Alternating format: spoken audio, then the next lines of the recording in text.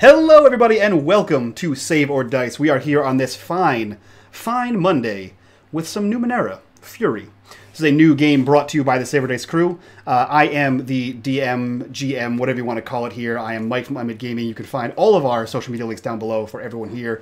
We'll do a quick introduction to everybody, get some sponsors out of the way, and then start rolling some dice. So uh, let's start with Keni. Who are you, and uh, where can people find you? Uh, I'm Keni. Keni Hill. Uh, Twitch.tv forward slash Keni Hill. Uh, I'm also known through Dice of Rolling. Uh, so you can find us at diceofrolling.com as well. Sweet. Uh, Bill, who are you, and where, where can people find you? Yep, I'm Bill. Uh, I, I have a YouTube channel called Wyloch's Crafting Vids where I show you how to make really cheap and easy terrain for your uh, tabletop role playing games and war games. Uh, so, yeah, that's me. Awesome. Jordan, who are you, and where can people find you?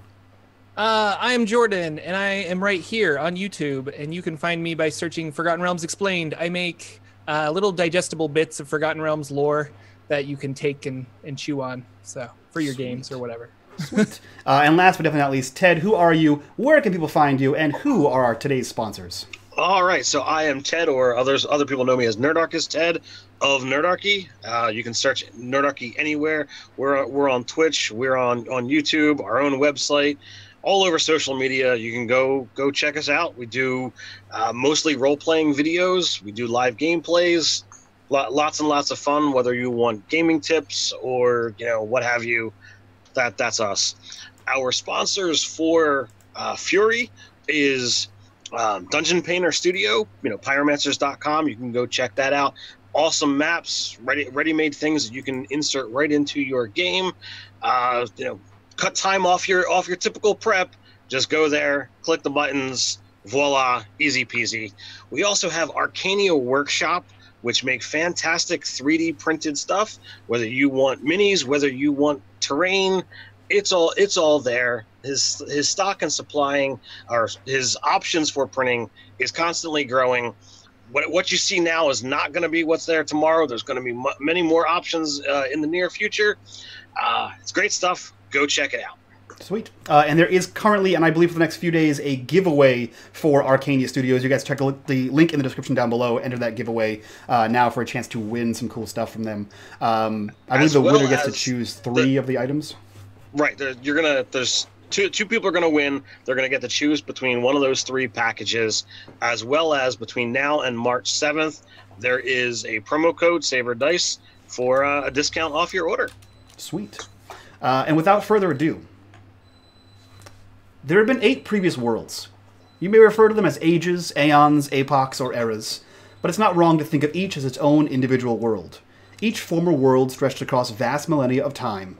Each played host to a race whose civilization rose to supremacy, but eventually died or scattered, disappeared or transcended. During that time, each world flourished. Those that rule it spoke to the stars, engineered their physical bodies, and remastered from uh, form and essence, all in their own unique ways. Each left behind remnants.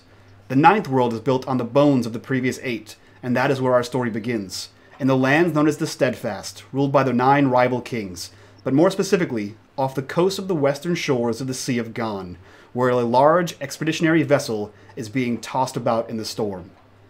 You four find yourself on the deck of the Albatross. This is a large Numenarian vessel, larger than any you have seen before you. Its large blue sails glisten as the lightning crackles across the sky. Its translucent sails kind of waver as the as the ship pitches and yaws in the sea.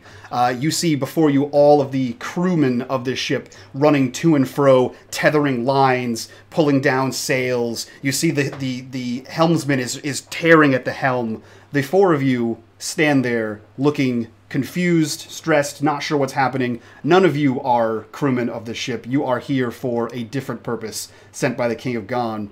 But it appears as though if you don't pitch in, this ship might not make its destination. You see lightning crackle across the sky, the waves leap upon the deck, the rain beats at your face. Uh, what are you guys doing right now as you stand on this bow of this ship?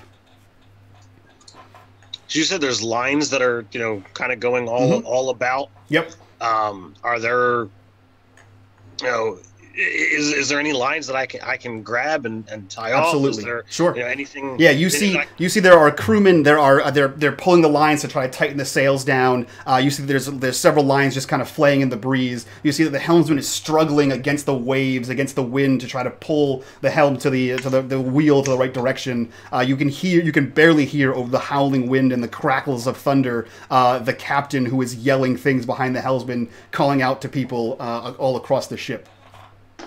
That's the man I want to go talk to. Okay. Because I know a man in charge. Perfect. I know nothing about sailing, so Cool. he'll tell me what to do. So Silica, you begin to fight your way. You kind of lift whatever kind of cloak you have, and you begin to trudge your way up towards the stairs that lead up to the helm.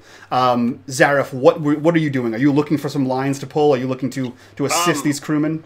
I, I'm I'm good at climbing. I'm good at jumping. So if there's lines that are like way out there, I'll have no problems. You know, trying to climb the climb the rigging or climb the climb the mast to get up to the ones that other crewmen can't get to.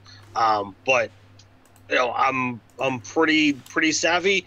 Um, and I think you know I've spent some time you know having some conversations with the sailors en route.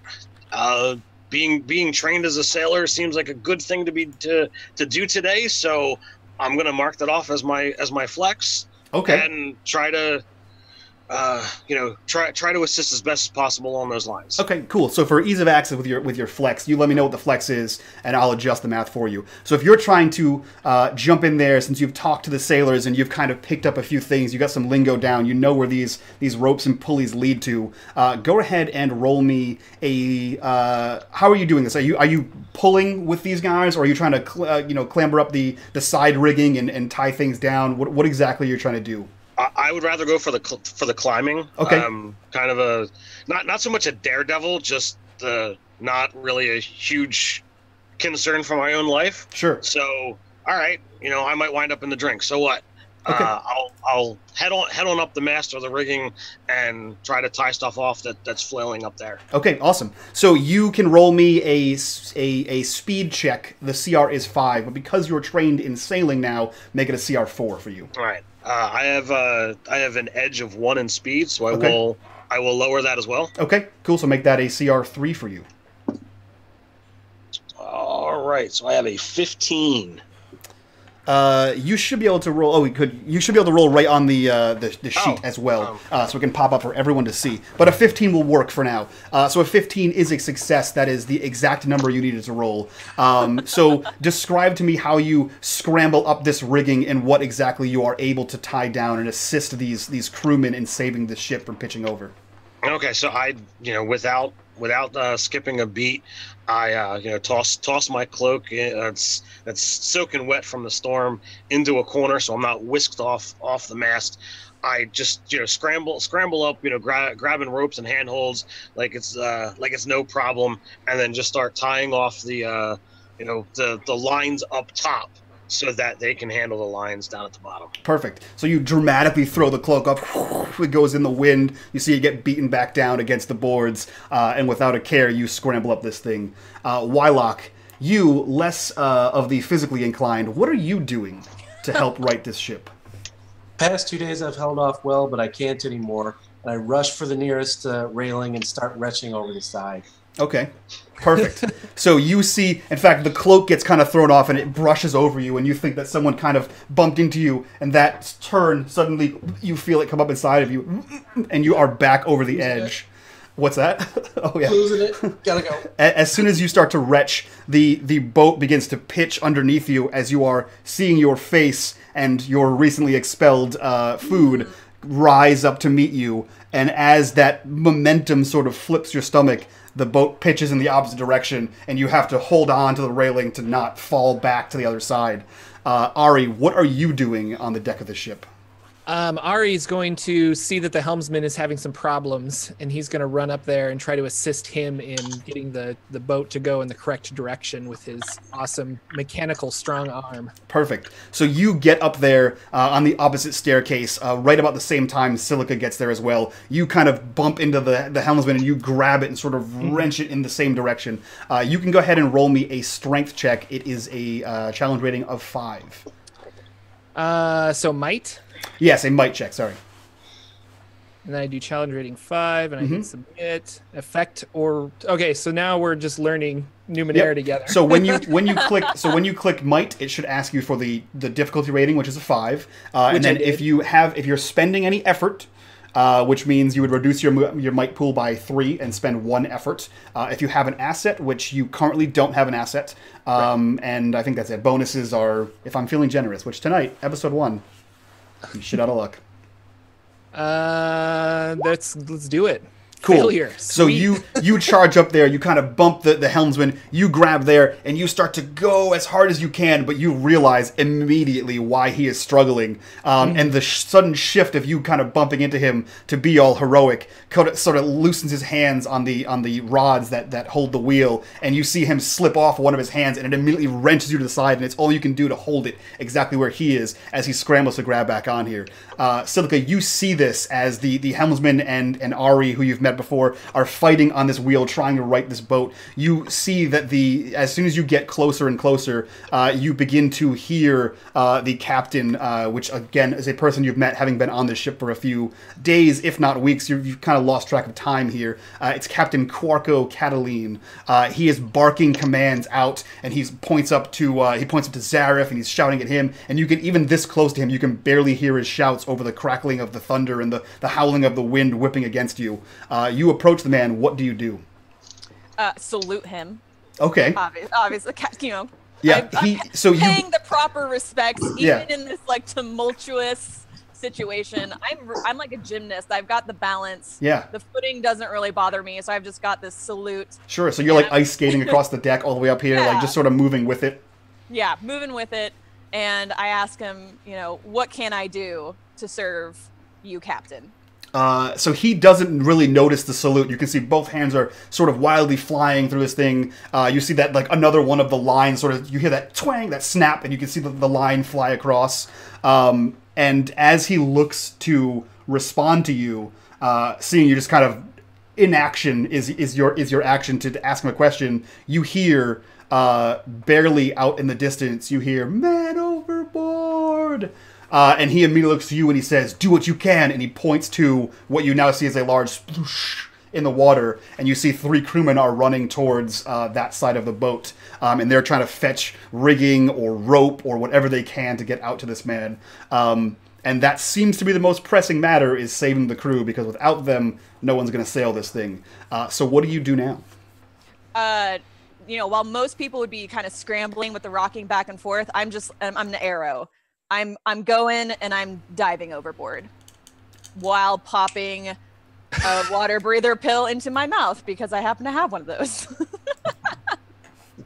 Oh, okay. Oh, so oh, you charge towards the crew who is currently bringing ropes uh, towards this this fallen man, and you leap into the tumultuous pitching water. Uh, what are you trying to do? Just jump to to like grab this man as, as like you know lifeguard him? right, because I can breathe. Oh right, right, now. exactly. Yeah. So that's not going to be a problem for me if I can. I don't have to worry about keeping Mm-hmm. myself above water. If I can keep him above water, Okay. li- lifeguard him from behind, Okay. under, underneath the arms. So make me Try try to keep him up. So because you're carrying a, a, a larger man and you're fighting the sea back as itself, uh, roll me a might. Uh, this is a might task challenge rating or difficulty rating is five. Difficulty five. Uh, no effort. No assets. Oh my gosh, there's so many questions. Hey, I have a question. Which Sure. side of the boat are they on? They are on the opposite side from where you are vomiting. Okay. Yeah, you can get over there. It's not. Oh, It's not. thank It's not too wide of a boat. It's probably like uh, maybe ten feet across, 10, 12 feet across. This isn't. This isn't like a large um, merchant vessel. Uh, you've seen the King of Ghan. He has the merchant fleet. You've seen galleons. You've seen these massive merchantry ships. This one is. Um, if you were to think like a cigarette boat today, but with sails, this is a, a larger, speedier craft um, meant to get you from point A to point B as quickly as possible. Um, in fact, you would know, all of you would know, that this is a specially commissioned expeditionary vessel uh, that is owned directly by the king of of, uh, of Ghan. And that is why I think everyone is pitching in their, their damnedest to try to save this vessel, because it probably cost as much as the expedition itself. Um, so you dive in and fail. Uh, you dive Yeah. in and you are you can you easily get to this guy. You can breathe under the water. So you you figure I'm going to dive under the waves. It's going to be easier to swim there. You do so and you see him sort of bobbing and kicking and flailing and you pop up next to him and you grab him and despite the man's flailing arms you're able to sort of pull him in. But as you're pulling him in, the realization dawns on you that you have no way to get back on the ship as it's beginning to slowly pull away from you and the lines are being thrown out and they're just too short as you're kind of one-handedly kicking and pulling water as you can get to that as closely as possible. Uh, we'll say Wyloch, you're the closest person. Uh, you hear this man overboard. You hear the splash. You hear the shouts of the men grabbing things, and you hear a secondary splash, uh, to which you hear several different types of profanity uh, shouting at the second person who clearly intended to jump in. What did you do? so I, I've cleared out enough now that I feel a little Hmm. bit better. So I assess the situation. I mutter something about why I agreed to this, Mhm. and I make my way over. And I'm thinking, can I try to use hedge magic to levitate? It sounds like they can't throw the rope far enough. Yep, It's flopping down, but sure. can I levitate the rope out so that it, it goes as far as it needs to? Yep. Cool. So, Okay, so I uh, so hedge magic for you is cost of one intellect point. However, you have one edge in your intellect point, which means it costs nothing for you. Uh, so you, how, what does it look like when you use this hedge magic? Because in this world, it's not really magic. It's one of those uh, technology is sufficiently advanced enough that everything looks like magic. So what does it look like when you control the nanos around you, the nanites, uh, and maneuver this rope out to your allies? Uh, I, stride up very unconfidently, but stride nonetheless, to where the guys are trying to throw the ropes. I reach out one hand, which gets illuminated with a, a blue glow. Nothing too fancy. Mhm. The rope starts to glow the same color, levitates up, becomes like straight, straight as a board, and works its way out to cover the most people possible, however many are in the water, so that all of them might be able to grab on. And then turn it off, and the rope falls in. Sweet. Uh, so I will say, uh, Silica, you see this rope sort of, you know, uh, serpentine out towards you, bloom, and sort of splash in. Um, you are able to grab this. You now have an asset to get in there. So it is still a five to carry this uh, this drowning man through the tumultuous waves, but you have a plus one asset. Now you can spend effort to pull yourself in if you so choose, but this is so far a might check uh, with a difficulty rating of five.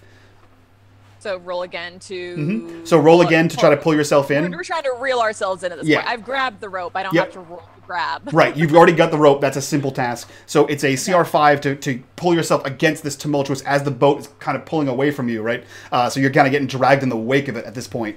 Um, yikes, that was almost super bad. So you're still holding the rope, so you're not getting any further out. Um, Oh, I just can't. so you yeah you've got this your your grip on the man is slipping but you have the rope uh, it's getting to the point where you're going to have to make a choice uh, arri and zariff you all see this what do you guys do help, help.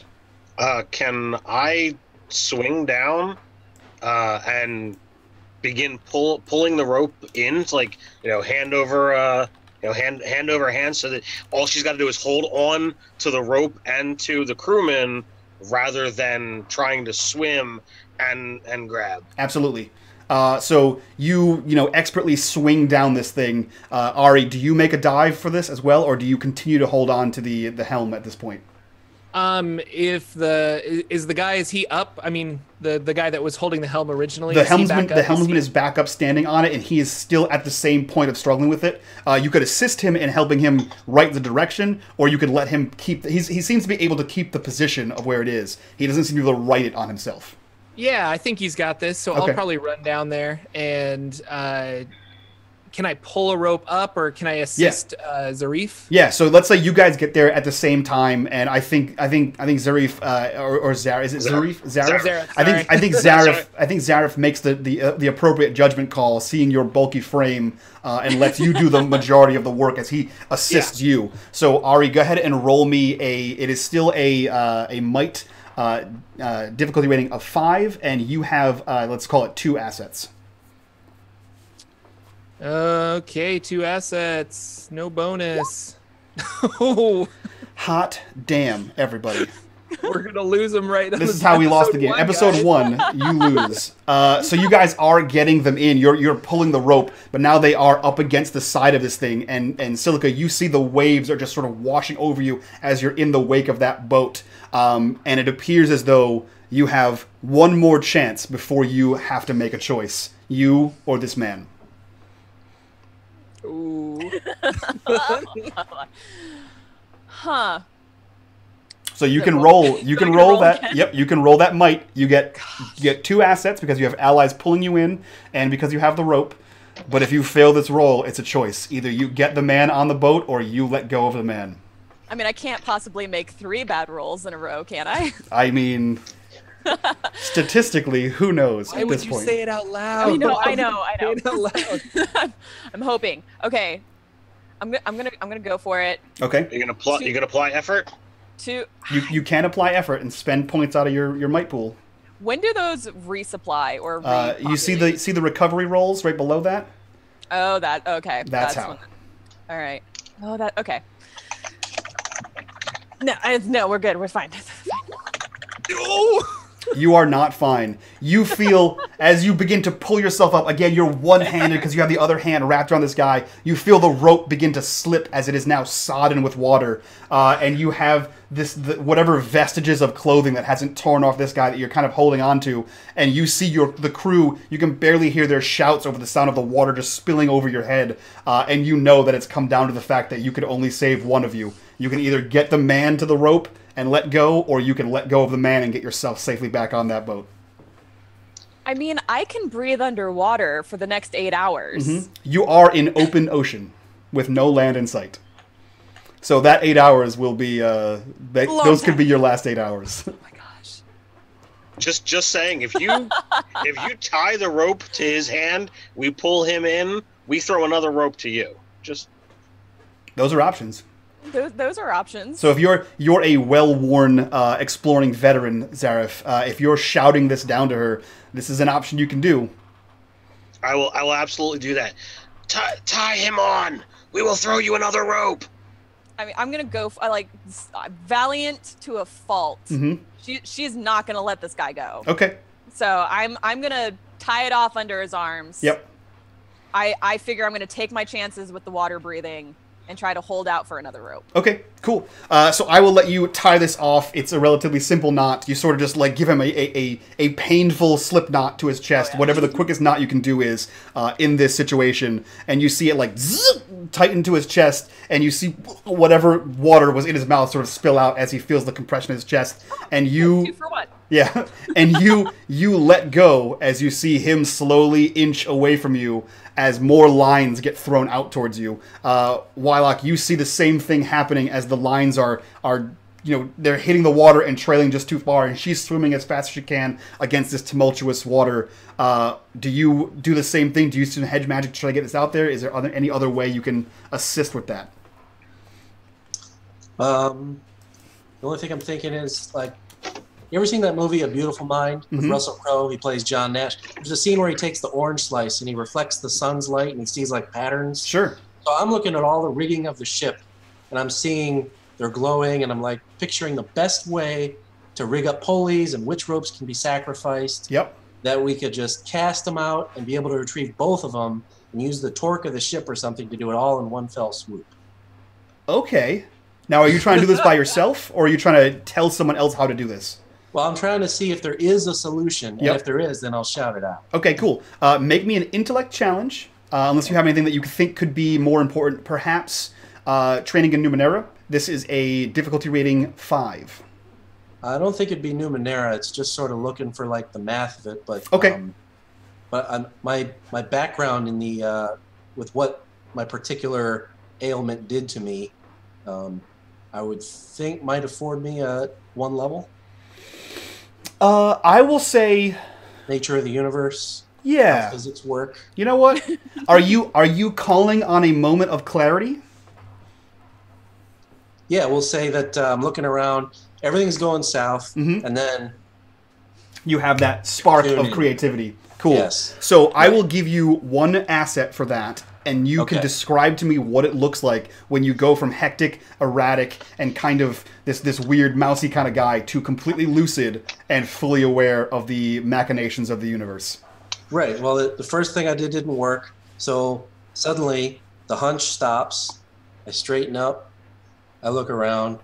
Everything gets very quiet for me. The ropes, like I said, they're, for me, they're glow. I'm seeing a solution, a mathematical solution, how we can get this done. So, uh, what'd you say? It was I click the the. So you, you click you click intellect. There should be a dice symbol right next to intellect. Okay. You click on that, and then it should say what the difficulty level is, which should be five. And then it will ask you if you have any assets, which you have one. Uh, I'm also putting. I'm going to put effort into this. Okay, so reduce your intellect pool by three and put one effort in. Okay. No bonus. Which will effectively success. You needed to roll a uh, a 15, and you rolled an uh, so you need to roll a uh, a nine, and you rolled a, an 11. So you totally nailed it. So you see the mathematics, you see the geometry of how the rigging is set up. And you know exactly which of these lines that these guys is holding is connected to which tether, which goes to which pulley, which is on the boom hinge. And you know that if you get that line to her, you can activate this switch, which will reel that line in uh, and save. It will it will guaranteed to save one of them immediately.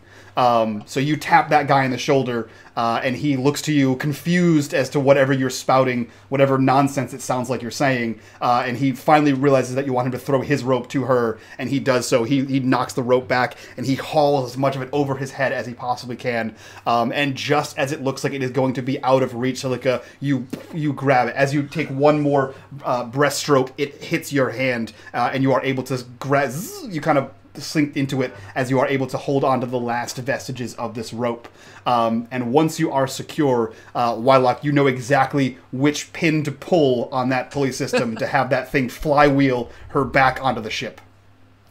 Cool. So you, Wa- you, water ski across the Oh, yeah. ocean is like pulling me. oh yeah, for sure. First So you, pass of the night. you yank the pin out, uh, and this thing, and it sort of spins all the way up, and it's it, everyone just sort of looks at it's like it's one of those Rube Goldberg contraptions as it like tink tink tink tink all the way across. Uh, Silica, in what amazing acrobatic fashion do you land on top of this deck? Uh, full gainer, just full gainer, right onto the deck. Sure, superhero pose. Just stick the landing. Yeah, awesome.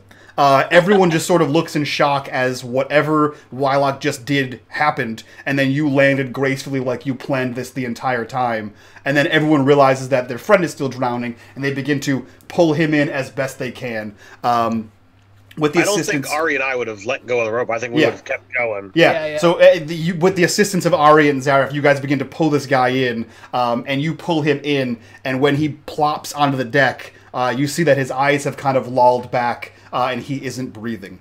Um, it seems as though he has taken on too much water. Uh, he doesn't seem to be dead yet, as far as you can tell. Uh, but is there anything you guys can think of to do that would save this guy? I know some of you are. I know some of you are keen adventurers. Um, you say medic, and one of the the crewmen sort of looks around, doesn't see the, the appropriate guy, and you see him dive below deck uh, into one of the the holds as he goes to look for the the corpsman. Um, you know that that the corpsman's going to take a solid like minute or two to get up here with the with the pitching of this of this boat. Um, this guy is just kind of splayed out. Um, everyone looks around. Uh, you can see their faces sort of drop into the knowledge that they know they can't save this guy, but that if they don't return to their job, the entire ship might break apart. So with reserved faces and just forlorn expressions, these guys all quickly begin to turn, um, trusting in the fact that the corpsman will come and save this guy, and they start running back to their positions. And you see them again running through cranks, and they're they're pulling the winches out, and they're they're lining the they're, pulling down the ropes. Um, Arri, Zariff, this man is at your feet. Wyloch, uh, you are paces away. And Silica, you are still in a pose waiting for applause. And when you finally get none, you lower your arms and realize that there is a dead body on the dock, uh, on the deck of this ship. Uh, what do the four of you guys do? Do you return to work or do you return to uh, attempt to save this guy's life?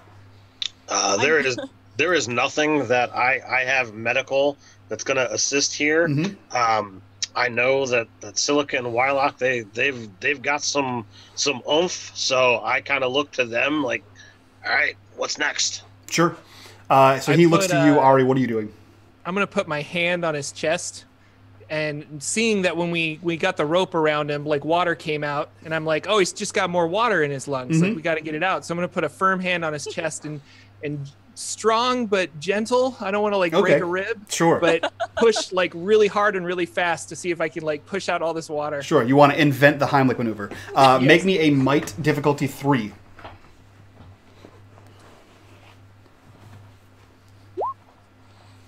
Hell yeah, cool. So you rolled a mini crit in Numenera. Uh, so now you don't have extra damage, but you can have a minor effect. So you succeeded exactly what you were trying to do. And what minor effect would you like to happen? Uh, my suggestion would be this guy wakes up immediately. Is an easy That's minor exactly effect. what I was gonna say. Like I think he just needs to wake up immediately and start coughing and and be able to help us again if possible. Cool. Yeah. So you press your hand uh, right below, right below the the solar plexus, and you just sort of shove in at the base of his uh, at the base of his ribs. Uh, you feel your palm sink in, uh, and then immediately, uh, similar to what Wyloch was doing right before someone fell in, a just torrent of water comes out of his mouth, and he sputters back to life, eyes opening, seeing you sort of bent over with your massive metal arm pressed to his chest, and he, what, what happened?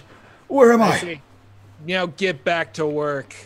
and he looks up at you with the with the fear of whatever god he believes in, and he sort of scrambles to his feet, rubbing his chest, which you can you can tell it's not broken, but that's going to be an Arri-sized handprint there for a good minute. um, as he quickly looks around to whatever rigging needs to be redone, and he begins to go back at it. Um, what are the rest of you doing? Zariff, Wyloch, and Silica. You are all still on the dock, uh, the, the deck of this ship. The ship is still til- you know, tilting and turning and, and shifting in the waves. Um, you know that you have to get through this storm. Um, and as far as you knew as you approached it, this this uh, there was no land in sight as of yet. So the, the captain's on the other side. Is there is there someone that seems to be you know leading the people on on this side? You know, deck master, any that kind of stuff. Uh, yes, you look around for that, and you recognize there are two people uh, that seem to be, uh, you know, issuing out the captain's commands, kind of listening back. Uh, you see that there is the first mate, uh, which is Tivin Brith. Uh, you've met uh, her before several times, um, and there is the bosun, uh, who is usually the guy in charge of the storage, the foodstuffs, all that kind of thing. Uh, but he is a large, burly, barrel-chested man. And it's Bosun Dorisha is is his name. Um, and you see both of them are, you know, painstakingly carrying out the the orders of the captain and relaying them as they hear them um, with with great fervor. Uh, so you So see what- both of them; they are both uh, on opposite sides of this, uh, towards the sails of this, uh, towards like the the mast. So what, whatever whatever they're issuing that needs to be done, whichever you know seems to have the, the least amount of hands at it, Mhm. I will I will go go to it. Absolutely. So you begin to go to one of the sides of the ship. Let's say it's the right side of the ship. I don't know ship terms. Uh, you get over to the right side of the ship and you begin grabbing ropes, and you're you're working on that. Um, Arri, what are you doing right now? I think I'm gonna run back up to the helmsman and try to help him and, and see if he knows where to go. Is Okay. what I'm hoping because we we don't know where we're going. I'm hoping that there's some there's probably not a star in the sky or anything. Sure. But maybe he has a compass and Yep. we know that we need to go east. And I'm gonna Yeah. try and, and direct the ship into that that area. Okay, so you run up there. What is your experience, except for your arm, with Numenaran devices?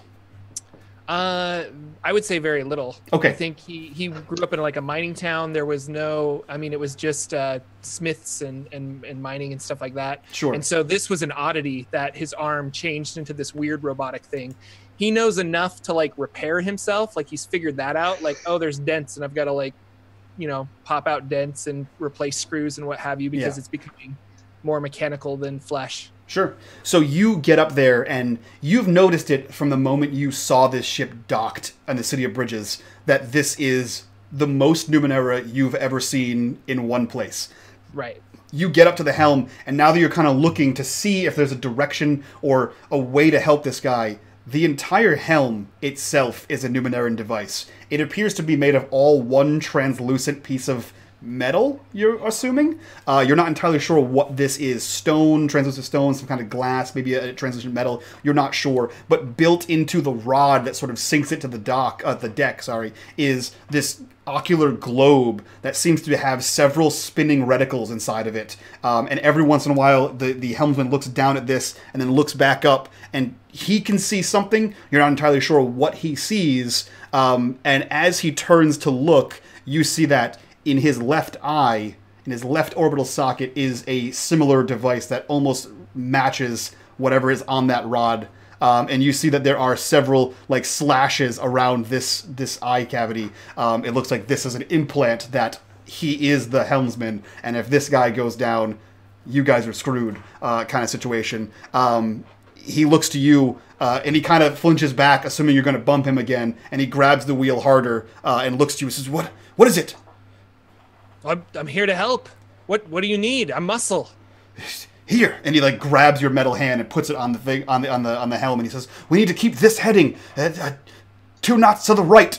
And he like realizes that you have no idea what the hell he says, and he says, Yeah, Arri heard right, so he just starts. get, get this pin center and he starts to wheel it as he points to one of the rods on the on the helmet as he begins to, to pull this thing um, and you can make me that same uh, might uh, difficulty rating five and i'll give you an assist on that because he is actively helping you this time All right, here we go. Yeah, perfect whoosh man just keep rolling those cool we just had Uh, to get those bad rolls out of the way. yeah. Uh-huh. Uh, so you do now that you understand what's happening here. Uh, you grab this thing. You know this pin needs to go to the center, and you wrench it free. Um, and you wrench it free in a way that now you're you're 100 percent sure you could take this helm and hold it exactly where it is, and you don't need this guy's help. However, he is the helmsman, and he's going to stay by your side. Uh, is there any other major effect you'd like to happen? Uh, jeez. Um, I don't know. Help, friends. What do we want? Major effect. Yeah, you guys can throw out suggestions. Well, clearly, the fact that we're now properly on course, it's a sign of uh, of good passage, and the storm lessens. That doesn't happen. No. nope. This isn't Disney's Uh, Numenera game. That's not how storms work. perhaps I like your uh, gumption. Perhaps a major effect. If we need to keep it in this center pin, maybe um, now that we have it stable, like the the currents kind of change and it's not fighting back Mm-hmm. against us as much, we can kind of like like it's almost like locked in place. yeah. We're like, oh, okay, like this is this feels right. Yeah, so you get the cruise control, the ship cruise control on, right? Yeah. Okay. Almost. Yeah. So so if I if I'm needed elsewhere, I could run around. Cool. Yeah, so you get it so that he is able to you like lock it in a way that he is able to to keep this this bearing as well. Uh, we'll jump over to Wyloch. You are now on the opposite side of the deck. Uh, this side is vomit free. What would you like to do? Well, the clouds have returned, and after the whole commotion with the overboard finished up, everyone took off, and I started freaking out again because life's hard enough as it is. And now you've got me on a boat, Mhm. and it's rocking back and forth. We're in a huge storm, and I go for the other railing, and it happens again. Perfect. Uh, so as you have the first uh, Silica, you hear this, uh, and you see that Wyloch has returned to retching over the side of this boat, uh, and you stand in a commotion of people who seem very unimpressed with your amazing landing, uh, despite the pose uh, awarding of applause at the end of it. Uh, what are you doing? Uh, I'm a little concerned for Wyloch's well-being, Mhm. and since I have, you know, good grasp on my balance, I'm gonna go and try to just sort of comfort him and, and kind of keep him steady. Cool. I've done my duty to this man who went overboard, Mhm. but I'd also prefer not to be under the eye of the captain at this point, since I also needed saving. Right. I don't want to make him angry. that and you saw a man go overboard and he is this this this Wyloch person is is leaning overboard and could be the next one to fall. Um, Yeah. So how do you go and comfort him and or make him feel better? uh, I, you know, I, I stride over, very confident. I'm just like, "Buck up, buddy. It's gonna, be, it's gonna, it's gonna be okay." You, the charming uh, the charming person, comes over and says, uh, "Hey, stiff upper lip." Uh, perfect. Uh, so you just come over and your abrasive approach doesn't make him feel better or worse. Uh, No, probably not. And I'm sure he kind of and looks at you uh, as he retches some more. Um, and as Pat lightning, yeah, and as lightning peels across the sky, uh, we'll say Arri, as you're leaving uh, the helmsman, uh, and Zariff, as you are pulling rope, you see this lightning streak across the sky and fork, and it hits the mast. And you see it run down the sails as if the sails themselves were made out of some strange metal, where in fact they are made out of some translucent blue Numenera something. You're not sure what it is. But you see the lightning trace down these things, and then it hits five or six places after the splits into the deck, and you see small burned holes and fire begin to rise up. And as your vision clears from the white hot blazing light of that lightning storm, you find yourselves in the city of Ghan, or in the kingdom of Ghan, in the city of Bridges. The city is full of reverie, and it is the day you departed. There is the common folk have gathered on all of the bridges. Now, this city is on a dock that stretches out hundreds of feet into the ocean. You see that there are several boats that have arrayed themselves around the various docks. There is the Coral Castle, uh, not actually made of coral, you were disappointed to find, Arri, uh, but more of some strange kind of metal. Um, and you see there are people all over the place. You see that the in full resplendent regalia, you see that that Laird, King Laird, the the king of the kingdom of Ghan, is out there, uh, and he is speaking into some ornate orbular box. It's this very strange, like oval with some like antennas sticking out of it, but he's speaking into it, and somehow his voice is being projected throughout the crowd and to the people. Uh, you see there are children playing across the docks. Um, there's this strange game where they kind of stretch out rope between two docks, and they're spinning it over the water as one person dives, like what you would imagine in the real world is the dolphin uh, over this rope, kind of like a jump rope, but aquatic style. Um, and you can make out what is happening here uh, as you are all in a procession leading towards this boat, the Albatross.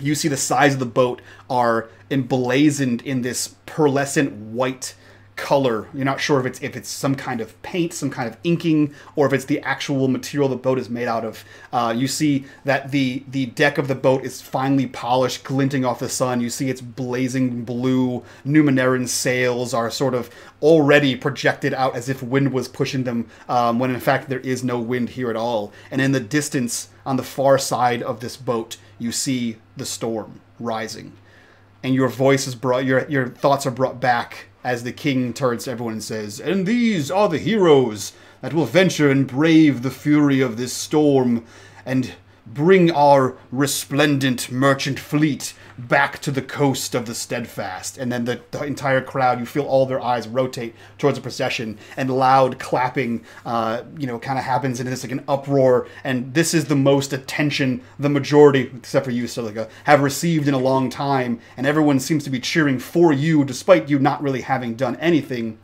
But you've all done something right? You've all earned the eye of the king so let's go around and introduce our characters here. Arri, you come from a small mining village, wherein you touch some kind of strange ore that seemed to graft itself to your arm and begin slowly growing up your body. What drew the eye of the King Laird? What was impressive enough that you earned a spot on this expeditionary fleet that he thought you could save the day and stop this storm? Arri is incredibly strong, and part of that is the gift of this Numenera that has taken over his arm and leg, um, which made him an excellent miner in this small mining community, but it also made him an outcast. And when they were looking for volunteers, the mayor pretty much came to me and said, You are going to volunteer because we want you out of the town. We want to make sure that you're not going to infect other people with this and we're scared of what you're becoming. So reluctantly, he joined mostly to because he loves his town and he loves the people in his town, and he wanted them to be happy and safe because he doesn't know if he is a danger. Mm-hmm. So, and maybe his new skills could be better used in other places. Okay. So you were sort of banished from your own town as a sort of pariah, forced In a to way. Okay. forced to volunteer. Volunteers though still need to prove themselves as capable members of this voyage. Uh, it doesn't just get sent everybody out there. You have to have some kind of skill that he believes that could put an end to this storm and bring back his merchant fleet, which, as you've come to know, is the lifeblood of the Sea Kingdom of Ghan. So, what was it? What was the skill? What was the what was the feat of great strength that you did that impressed the king enough to earn you a spot on this boat? Uh, there was definitely a collapse in the mine, and uh, three of the miners were trapped. And it was, I'm going to say, some kind of leverage, but just sheer strength to pry open an opening and hold it with my shoulders so that the miners could like run out of the mine safely before I like run out and it collapsed entirely. Okay, perfect. It was that holding up a mountain that I became known for. Okay. Uh, so the mayor of Omar wrote you a letter of recommendation uh, to bring to the uh, to King Laird, right? So how much of the letter is true, and how much of the letter was embellished? Uh, I'm guessing, I'm guessing about seventy percent embellished. Okay, uh, perfect. Um, and I'm sure that Arri will never admit to that. Um, we have a super chat uh, going on right now from Morgan Ritson, two dollars. Fingers crossed for that sweet Oprah cameo. I have no idea what that means. Uh, if someone in chat could tell me what the Oprah cameo is, did I say Oprah? Did someone else say Oprah? I have Um, no idea why you would Yeah, think Oprah's Wrinkle in coming. in. Time movie. Oh, okay, good, got it. I think the setting reminds them of Wrinkle in Time. Perfect. I was completely lost on that because I've read the book and haven't seen the movie yet. But Uh, thank you for the super chat. Thank you for the super chat, and I'll see about working Oprah in uh, in some way. um, jeez. Uh, with that, you're kind of pulled back towards the crowd as the eruption of cheer um, sort of snaps you out of that moment where you're in the mine and you realize that this isn't the screams of your friends trapped in a mine, but the cheers of people, you know, sort of pushing you on to do more great things. Uh, as we cut over to Zariff. Zariff, you are a veteran explorer uh, who I assume volunteered for this mission with some kind of gusto. Uh, what was the deed that brought you to the eye of King Laird that earned you a spot on this boat? So Zariff is a, as you said, an explorer. He he wound up finding a a Numenera that kind of makes the the bright light, you know, uh, a bit of a bother for him. So he tends to spend a little bit more time underground in ruins and caves. Uh, well, he he came upon a a Numenera, a relic, something that he wasn't certain, you know, what exactly it was and he he brought it back to uh, so, some noble, and it turns out that it was able to be to be used to um, like lift everyone in that town, you know, uh, up a little bit more. You know, the you know, uh, food grew a little bit better. Uh, every everyone's quality of life just got got raised by the by this one one device. You know to him like you know he did a he did a good deed. He didn't really think anything of it but you know other people called him a hero. Okay, awesome.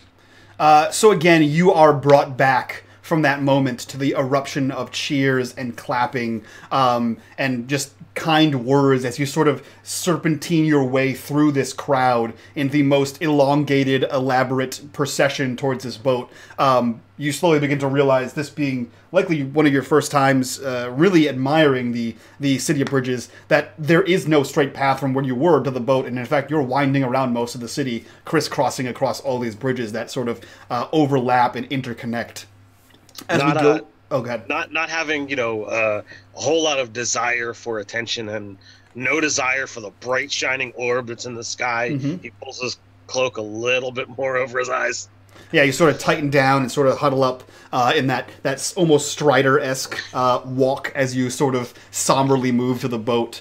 Um, for as you as you look across the the prow of the ship and you see the storm um, that now the closest you've ever been to it, just how treacherous it looks. This could be your last adventure. As we and I cut greet, over, I okay. greet it with a smile Yeah, because death is the last great adventure. Uh, as we cut over to Wyloch, uh, you've had a sordid past, if you remember any of it at all. But in recent times, something has drawn the eye of the King of Ghan. What was that? I inadvertently thwarted the assassination attempt on his daughter. And how did that go? For the past two months, ever since I woke up with this blue gemstone lodged in my forehead, I've been wandering around trying to remember who I am or, or what's going on. Very paranoid, very not schizophrenic, but uh, on edge. It's just the way I am because I see the world differently now. So I came to the city. What's the main city? This main city is called the City of Bridges. Okay, so I came to the city of Bridges. Uh, it so happened that in one of the major squares there was a procession going on, um, a big carriage or whatever the equivalent is. And uh, but I noticed one, one something was odd. One of the bystanders in front, uh, I noticed a glowing coming from inside of his cloak, and uh, turns out it was a weapon. So I had a moment of clarity. It was actually my first one and where all of the paranoia went away. The clouds cleared, and I knew exactly what had what was going on and what had to happen. Mm-hmm. So I tackled the guy. Long story short, guards came in. It was understood what was going to happen, and uh, they brought me in to meet King Laird. And from there, he said, "Hey, given that you have nothing else going on, why don't you do this?" So, on your person right now, you have fragments of a metal egg. This is, for mechanical purposes, one of your oddities.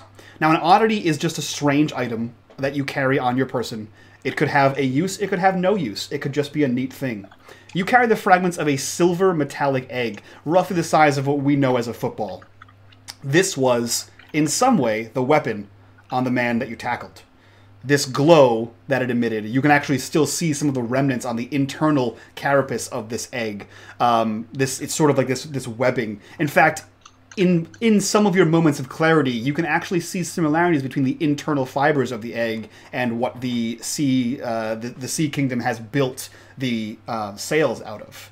Uh, now, in this moment of clarity, what you put together is that this man was an agent of the much feared Octopi Kingdom, which is a thing in Numenera. The octopi are far more intelligent than they are now in the real world, uh, and they have an elaborate undersea kingdom, which is threatened by the Sea Kingdom of Ghan on a regular basis. Now, most people don't know this unless you're heavily embroiled in the politics of the Sea Kingdom of Ghan, but you were able to figure it out. This egg was some kind of Numeneran octopi egg, and this man was an agent of them. And by having this moment of clarity and tackling this guy, you shattered the egg, and whatever it would have become, it didn't.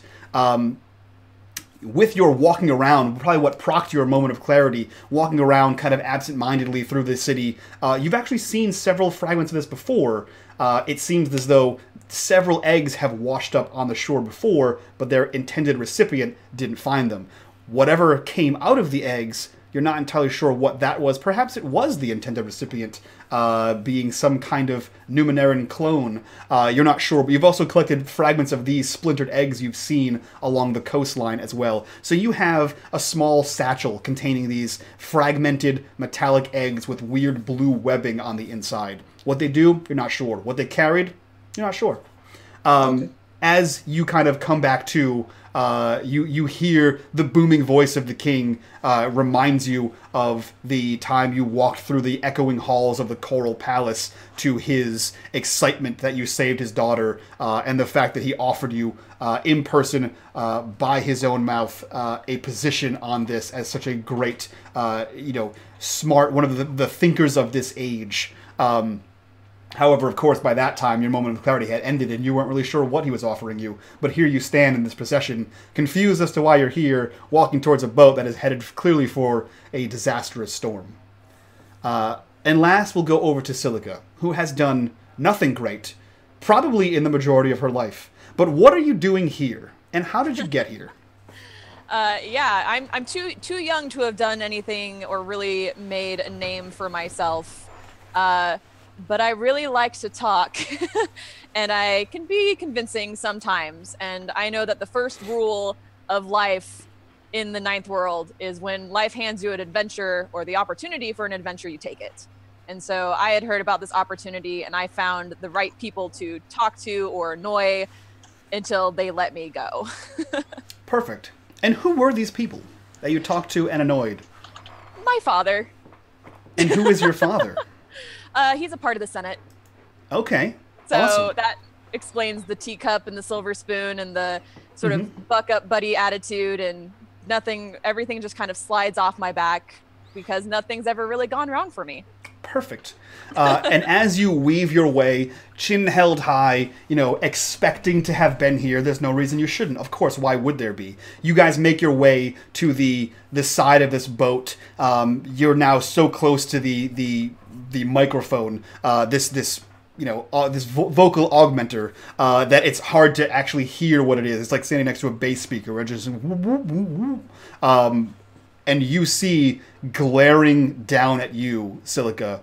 Uh, you see a woman uh, with with bright platinum white hair, wearing an elaborate green garb with shoulder poofs kind of puffed up here with yellow stripes. Uh, and Morgan, I look at you in chat um, as the woman sneers down at you, and you recognize that she is another member of the Senate.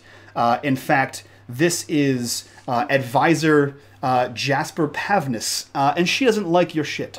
Um, she knows how you got here. She knows who you are, and knows that you have no business here. And she doesn't like you, your father, or the rest of your ilk. Uh, so she sneers down at you from the side of the king, unable to say anything that would sway him to remove you from this ship. As the plank sort of and hits the dock, allowing all of you to board passage along the albatross. Uh, you guys all proceed down this this this dock. Uh, the, the the Sea King turns to you and he smashes the ceremonial Numenaran device uh, on the side of the boat, uh, and everyone erupts with cheers. Oh, this is amazing! Um, our saviors! The crowd goes wild um, as the boat begins to slowly peel off. You see the crew, very Titanic-esque, begin to wave. Um, and I'm sure all of you guys have your own uh, sort of send-offs. I'm sure Silica's is very expressive, uh, and and Wyloch is confused, and Zariff's is non-existent. Yeah. Ah, I gotta go. Uh, and he immediately goes below deck. Uh, and as you guys pull out of the dock uh, of this ship, and you begin to see the helmsman turn into the storm, you guys see the impending lightning strikes, and these these purples and greens are streaking across uh, the, these these dark roiling clouds as you begin to leave the docks and leave the safety of the steadfast behind you as you pilot your craft directly into the heart of the storm. We find ourselves back on the ship, covered in rain, sloshing over the top. Lightning crackles in. As soon as your eyes clear from the white strike, you see that there are several tears in this uh, this blue-hewn um, sails, and you see where the tears happen. The blue light is starting to ebb, and it becomes black. And you see that whatever was powering the sails, because surely they must have been powered, is dying which means no wind will get you where you need to go. And you see that where the lightning struck the vessel, there are small fires erupting uh, as you guys are proceeding through the storm. These fires raise up blue and purple and green and are like no fire you've ever seen before. Uh, Zariff, you are the closest to one of these fires. What are you doing?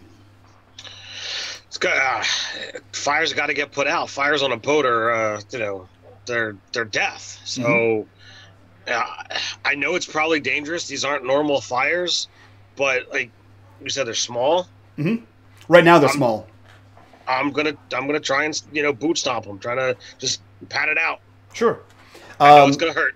So there is uh, so all around you there were like like let's say twelve to fifteen different spindles of of the remaining thin lightning that hit the ground. Uh, around you there is a blue, a purple, and a green. Which one do you go to to attempt to stomp out? Blue. Okay, uh, so you run over to this thing and you begin to stomp this out. Every time your boot hits, it seems to impact with this blue flame, which splashes and makes small, tiny little flickers and tongues of fire as you stomp it out and it seems to splash. This fire seems to be almost liquid, as if you're jumping in a puddle, and it seems to be spreading with every stomp of your boot on the deck. Oh god. Uh, you look to your left down the the the bow of this ship, and you see there, sort of in a sopping uh, mess, is your cloak. You're not sure if it will help you, but you know it's the only thing you have besides taking someone else's cloak. Do you make a Uh, dive for it? I I do. Okay, so you take off running. With every step, you leave a blue foot, fi- flaming footprint as you run towards this thing. Um, I think Wyloch and Silica, you are uh, aware that this happened. Wyloch, you may be able to steel your nerves enough to do something, but Silica, you have brusquely attempted to assist him in his weakened state, but you now see that there is a rainbow of fire spilling across the deck to different effect. What do you do? I'm looking for a bucket. I need Okay. a bucket, which Sure. is probably already full of water at this point. Absolutely. With the rain and the waves, yeah. So there is a bucket nearby. You find a bucket or a barrel, whatever you can pull over there. Um, Yeah. You find one that is slid up between the staircase uh, leading up to the helm that you can easily grab. It must have gotten tossed there in the waves. You easily grab it, and as soon as you do, you immediately feel that weight that this thing is full of. You have a pail of water. Um, there are the same colors purple, blue, and uh, uh, purple, blue, and green around you. Which one do you go to? Whichever is closest. Sure. So you go to not the blue one because it would be uh, less fun to do the same thing over and over again. Uh, you go to the green one and you just take that bucket. And I assume you just sort of splash this on there. Yep. Perfect. So you grab the bucket by the the the handle, you grab by the base, and you just dump this water in. Um, and almost as luck would have it, you sort of reel back, and a wave hits, filling that bucket again, and you are able to dump it a second time. Yes. What you notice is though the fire goes out, all of your water seems to sink below deck because where that fire was, there is a hole about the size of a dinner plate. Because this fire had some kind of what you might assume to be acidic properties and seemed to melt through the hull of this ship. So now there is didn't put my water. in it. Yeah. So now there is water just seeping into the hull of this ship, and you see that there are four more green flames across this boat. Um, Wyloch, you see all of this. Your stomach turns and flops as the boat does the same. What do you do? Are you able to assist, or are you too sick? Uh, so witnessing, I've, I've gone through round two. So so witnessing what they've both gone through, and I can see the hole in the deck, right? Yeah, you can. Okay, so that really freaks me out, and I'm gonna, I try and make my way over and uh, and uh, use, uh, I'd like to use hedge magic again Okay. to repair or mend a broken object. This is only the size of a dinner plate. Yep. Okay, so would that apply? Um, let me double check what your hedge magic does, just for my own edification here. So let's go to uh, Wyloch, just so I know exactly what you can do. I believe so. Uh, clean a small, mend a broken object. Okay, so yeah. So here's my thoughts on that. The object isn't broken. There is a hole melted in it. So to fix a broken object, you need all the pieces. The pieces are gone. So Okay, you so could you could find wood somewhere and mend it to it if you could find the wood to do so, or whatever you think this ship's made out of, if it is indeed wood. Okay. Um, all right. So look, if that, we'll scratch that then. What I'd like to do is just look at the fires and study them and try and ascertain if the fires themselves are Numenera. Given my, uh, I have uh, specialty specialization in identifying or understanding Numenera. Roll me a Numenera check. Uh, it will be a difficulty five. Uh, you just click difficulty five, and it will automatically calculate your specialization for you. Okay. So click this. Difficulty five. Um, effort. Can, can I use effort again? You can. Yeah, I'll use a le- point uh, level of effort. Yep. You can use effort on every single roll. Uh, you just can't exceed the maximum amount of effort you can spend per roll. Success. Uh, you look at these different kinds of uh, flames, and you are, again, you have that moment of clarity. This is 100% some kind of Numenera. In fact, based on what you side eye observed through heaves over the side of this boat, uh, everything you just watched was some kind of interaction of Numenera. It's not often that you see it, but you have seen it where two different kinds of Numenera interact and have negative effects. Uh, it's even more rare that you've seen them have incredibly negative effects. This seems to be somewhere in the middle. Whatever is in this storm has something to do with Numenera and the lightning that came out of it is a byproduct of that. And the fact that it hit this clearly Numenaran ship, it interacted very differently than maybe if it had hit a, a normal vessel. Uh, and this is absolutely some kind of Numenaran interaction, some kind of chemical reaction. So no, but no detail about like the most effective way to extinguish them or anything like that? Uh, it seems as though water was effective on the green flames. It did, however, burn, and it seems like as long as the flames is burning, the flames are burning, uh, the more, the larger the hole is going to get, as if this was like a chemical reaction of acid just sort of going. Uh, you haven't really seen anyone interact with the other ones because your back was turned, uh, so you don't really know the chemical properties of what they are. You just know that you can, you can guess by what's happening that each one of these has some kind of different property. Um, water seems to be effective currently uh, when applied in massive quantities. So a splash from a wave, a bucket or two. The rain doesn't seem to be dying these down. Um, and as you look to your right, uh, you can see that the footprints of blue fire clearly stomping that one out didn't seem to go in Zariff's favor. Um, so you know that probably jumping inside the fire is not an effective method of putting it out. All right, so I just I yell out, follow her lead to everybody to douse them. Okay, perfect. I Uh, bow. just sort of elegantly um, as you hand the bucket to someone else who need that's their business to do that. Um, perfect. Arri you have come down from the helm. Uh, i assume you were helping the cruiseman in some way. You see all of these fires. You see zariff is walking towards you. Uh, blue flame footprints are, are streaking behind him. Um, you see that that silica has grabbed a bucket of water and been able to douse the green flame uh, what are you doing? Are you running towards one of the flames? Are you running to see what's happening? What, what exactly are you doing on this ship right now? Uh, can I grab a bucket as well Sure.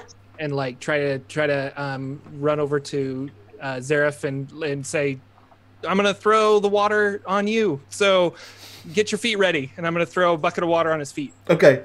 So you do. You douse his boots in water, and if they weren't sopping wet before, they absolutely are now. Uh, but what you do is you see these small amounts of blue flame that have been licking up around his boot fade out. Uh, and he's no longer uh, having those footprints as he retrieves his cloak. Uh, Zariff, if you do retrieve your cloak, uh, Arri, you are easily able to, if you so choose, tie off this bucket and drag it behind you through the water to refill it uh, in some Yeah, manner.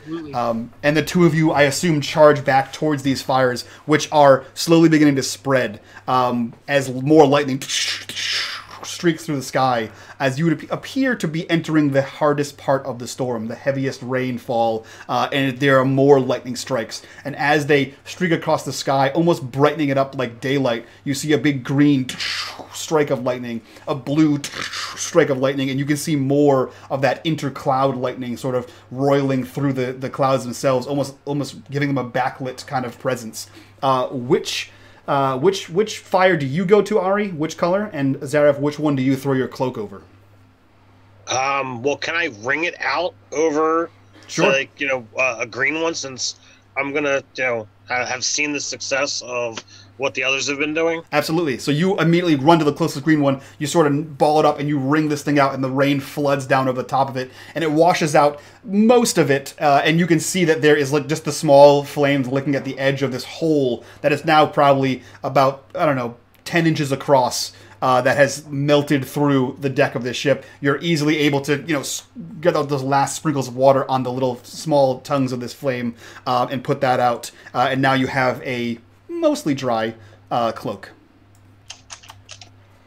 Where do you throw the cloak? Um, I'll put it back on for the moment. Okay, perfect. So you I'd rather rather not have it uh have it burn. that's fair. Uh, Eventually, this, that that cursed sun's gonna come back out. Yeah, and then drive everything. So you throw the cloak back on. Uh, it sinks heavy on your shoulders. This is a like likely some kind of woolen cloak, as it is now doused with water. Um, Arri, you see another one of the green flames go out, as you now can see the massive hole, this this ten inch diameter hole that was left behind its residue. Uh, you you can kind of get some of the properties of the blue that you can see based on the footprints that he obviously stepped in it, and that had no avail. Which flame do you run to, and how do you uh, how do you deal with it? So the water that I put on his feet. Um, sorry, my wife walked in and I totally got distracted. That's okay.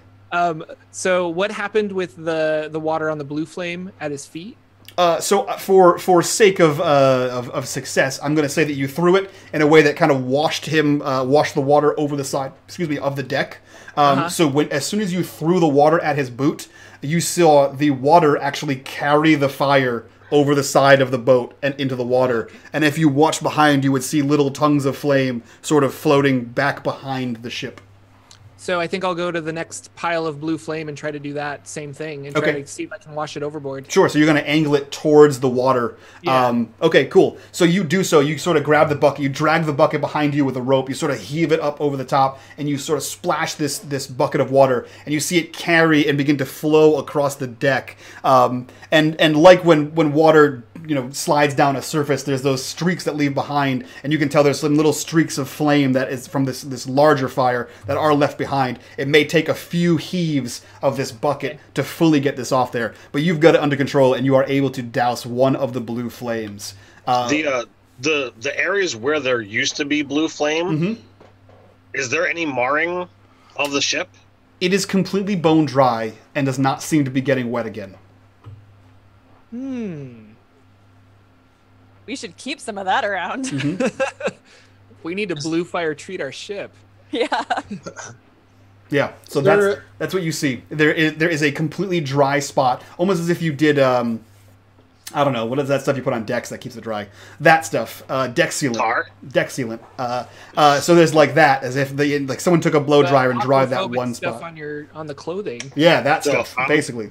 All right, so when it comes back to my turn, I'm going to throw my cloak over the uh, over the blue flame. Okay, cool. So we'll go over to uh, we'll go over to Silica right now. Silica, you have have you given your bucket to someone else because it's you know Oh, someone yeah. else's job, obviously. Um, so you see that there are still flames running across this ship. Uh, more green flame has been put out. Uh, you have handed your bucket off because that's that's someone beneath you's job. What are you doing to put these flames out, or are you?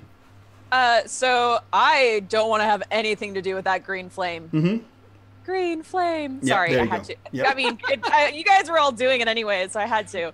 Uh, but that stuff is scary, nasty. So I don't want. I don't want to be anywhere near that. I saw what happened to blue flame, but we still need to do some sort of problem-solving exercise with purple flame. Mhm. So I'm gonna grab probably another bucket, that different one that I passed off that's near purple flame, and try to douse it with water and see what happens. Okay. Um, as soon as you take this this bucket of water and douse it with this this purple flame, I need you to roll me a speed defense check. Uh, it is a DC or a, a difficulty rating five. And I can use I can use my shield though, because I I have the speed defense. Is your shield out? what kind of question is that? Well, I mean, you like a- need you need sounds like two hands. You need two hands to throw that bucket of water. No, so how are you holding that shield? You know what? You're a smart man. I'm not holding the shield. Dang it. Uh, you can spend effort to lower that. right. So so this would be a speed check then. Yes. Yep. Okay. Um, yeah, speed check. If you don't have speed defense actually on there, speed check just works fine. And it would be a difficulty five. Uh, and if you'd like to spend effort, you can reduce your uh, speed pool by three. Gosh. I roll so poorly. So poorly I roll. Oh. Okay. The dice tell the story. Yeah, they do. Uh, how you know how bad can it be? It can't be that bad. Oh, Cool. So you take this water uh, and you begin to throw it across this blue, uh, sorry, this purple flame, and it is just too late that you realize that as soon as the water is is not even fully out of the bucket and hits the very top of these tongues of blue flame, that some kind of reaction happens. And like the lightning in the sky, you see lightning arc back through the water and hit hit the metal bucket in your hand as you are forced to throw the bucket down, and you take one point of might damage as you are electrocuted from whatever the hell this purple flame is. Great. It seems as though the water had no effect on it. And Uh, so th- I just take my might current value down. Yeah, you take your might pool down by one. Okay. Oh, Yep. the pool. Yeah, the whole pool. Ah, gotcha. Yep. Um, Wyloch, you have done some Numenera investigation. You understand kind of what's happening here, or at least how the flames were produced. You've seen the chemical reactions thus far that everyone has tried. What are you doing? Is there a concentration of the purple flames in particular? Uh, it, Or seem- it seems, as far as you can tell, that they're kind of scattered across. There are two that are closer together than the other ones. Uh, if you'd like to try to get them together in some way. What I want to do is look at. I, I'm I'm looking in my cloak and thinking about thinking about Yep, I'm going to do it. So I pull out um, this device that I have that I know creates a flame retardant wall. Okay. Uh, so it creates a plane of energy 20 feet by 20 feet Mhm. for one hour. Flames passing through it are extinguished. So I would like to lay it down to cover as much area as, um, as much fires as possible, wherever the most concentration of the fires are, if that makes sense. Okay, yeah. So this boat isn't 20 feet wide, so you could absolutely lay it across the entire boat, and you're pretty sure you can get all of the remaining flames in there. So you're going to spend your cipher uh, to activate this uh, flame-resistant wall, I believe. Um, so describe to me what this looks like, how you activate it, and what it looks like as it douses these flames. Uh, well, the thing I pull out of my cloak is uh, it's like a, a cube, three inch squared. Uh, each side has like a, a yellow to red gradient on Mhm. it, and it's different, so the colors don't meet on any side. Um, and light doesn't seem to affect it. It's like it's that color no matter what. If it were in pitch black, it would look the, the same.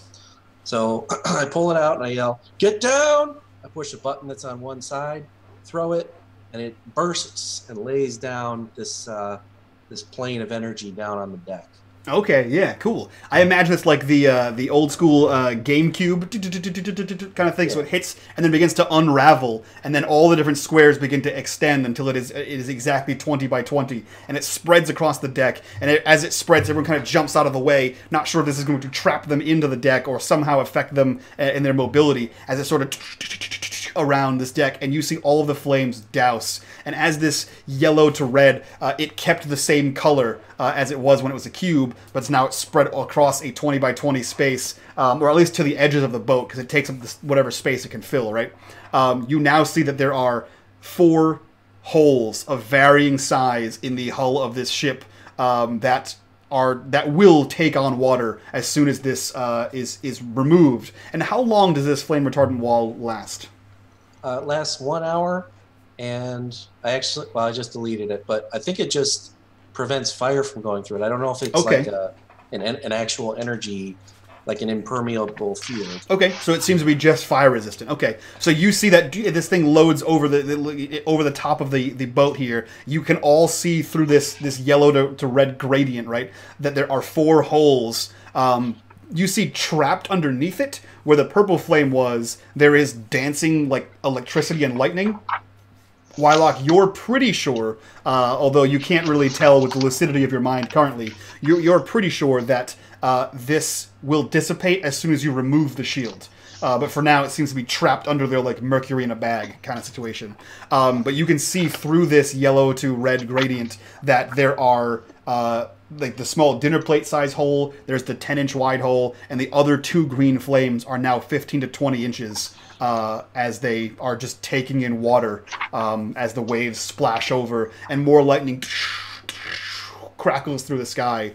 Um, you look around you as this thing kind of shimmers into life, having done its job. Everyone sort of looks to you. There's a quick, "Ja!" there's a quick cheer as more lightning scatters through the clouds, and you can see that where this lightning forked and hit the sails, that it is now flapping in this tumultuous wind, and you hear as it sounds like metal grinding on metal as you see that these these sails are rubbing against each other and the tear is getting wider and wider as more and more of the sail goes dark.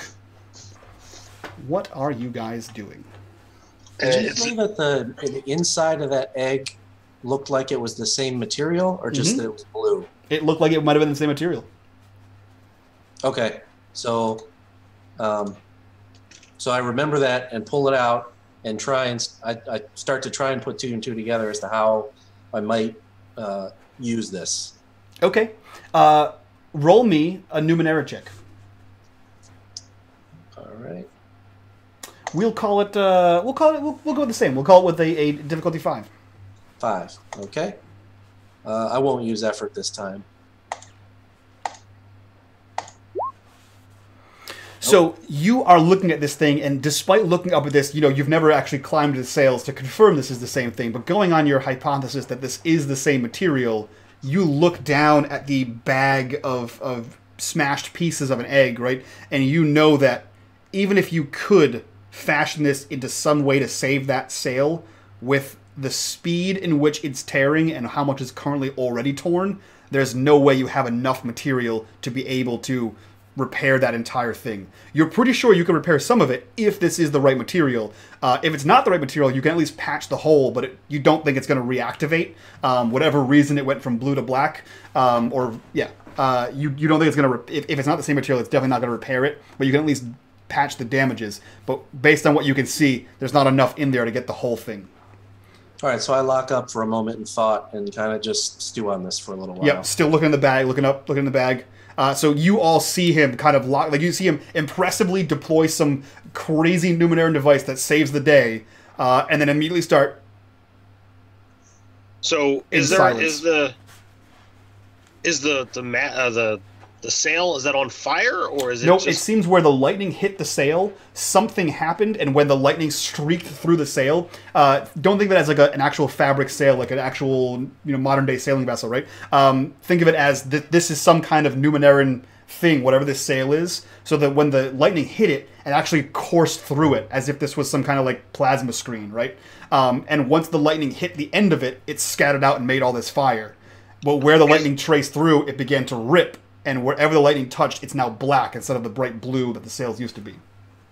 is it still held up by rigging? Is it still Oh, it's still held by rigging. Yeah, there seems to be a split down the middle of the sail, like as if someone took a knife and you know did the whole pirate thing uh, down the center of it. It's still held in place here. It's just slowly peeling apart in the center.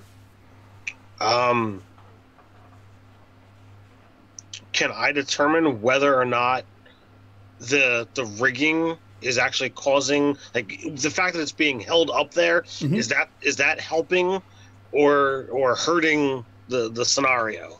So, because you have uh, training in sailing, right, and because you've been talking with the sailors and learning on your journey, you know that the tautness of the uh, sails is definitely not helping the matter. If you reduce the sails down, you know that obviously if there's no tension, it won't tear anymore, right? Then, Um, then then I'm gonna just I'm gonna But you know, also know that if you reduce the tension, you're not going to sail anywhere, and you'll be in the middle of a storm with no sails.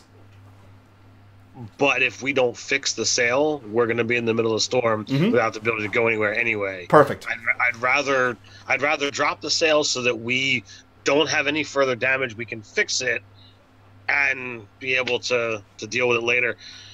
They throw me overboard. They throw throw me overboard. But that's what I'm going to do. Perfect. And how are you going to do this? You're just going to rush up there, kick the flywheel, and, and drop the sails as best you can before anyone can stop you? Uh, I'm going to say we need to we need to drop the sails before it gets further further damaged, and see if that's going to convince anyone else to, to to assist me. But if not, I'll do it all myself. Uh, so as soon as you begin to bark this out, uh, you were near, I believe you were near the bosun mate, uh, bosun Dorisha. Uh, you begin to shout this out, and you know next of command on this side of the boat, uh, he walks over to you. Like I said, big burly barrel-chested man, uh, strange tattoos. That as soon as he walks over, you see the tattoos actually move, and they must be some kind of strange Numenaran ink. Uh, he walks over to you, um, and you see that similar almost to Arri uh, on the back side of his arms, underneath his shirt. You see that there is these strange metal protrusions coming out from his back, uh, seemingly augmenting his his muscular strength. Um, and he looks over to you and he says, "This is ridiculous. That will stop the boat dead." We can't reduce the sails. We have to push forward. We'll be dead in the water. We'll be dead in the water if we don't get these sails down. They'll they'll, they'll be they'll be destroyed. Look at that. Uh, he looks over and he says, uh, "Giorgio, Sharon, up, fix it." Uh, and you see two of the uh, two of the, the the crewmen sort of stop whatever they're doing. They nod off the ropes and they begin to climb the rigging, much the same way you were. And you see them start to make their way across the sails slowly as the, the boat sort of pitches. One of them's foot slips off the edge. He quickly grabs back on, uh, and it seems as though the bosun wants to try to repair this uh, and isn't keen to let you snap that line and drop the sails. Do you do it anyway? Absolutely. Okay. As long as long as it's not going to pitch those two guys, you know, down, you know, out into the water. Mm-hmm. Nope. Uh, it seems as though even if even if it does affect them in any way, that there is enough rigging that they'll either fall into it or be able to grab onto it. They're not over the water. This tear seems to be closer to the mast than it is uh, to the, to the edge of the boat. Um, so you kind of push past this guy. Um, roll me a speed uh, defense. If you don't have speed defense, just speed, uh, and we'll call it a speed defense three. All right. Um, As he have as he sees you, and he's going to try to grab you to stop you from doing it. Where, where is speed defense? If he's not on there, just roll speed. Uh, Same I thing. ha- I, I'm trained in speed defense. Okay, so then if you would, uh, you would have to add it to your speed skills. Okay. Um, if not, just do a uh, just do a speed defense and give yourself one asset. We'll call it an asset for now. We can fix that in post. All right. What is the difficulty? Uh, three. Three. I will apply effort. I don't see where to. Where do I add the effort? Uh, it should say once you click uh, roll, it should say effort, and then you put put one down, and then it should say asset. And for right now, we'll call it one asset because you're trained in it.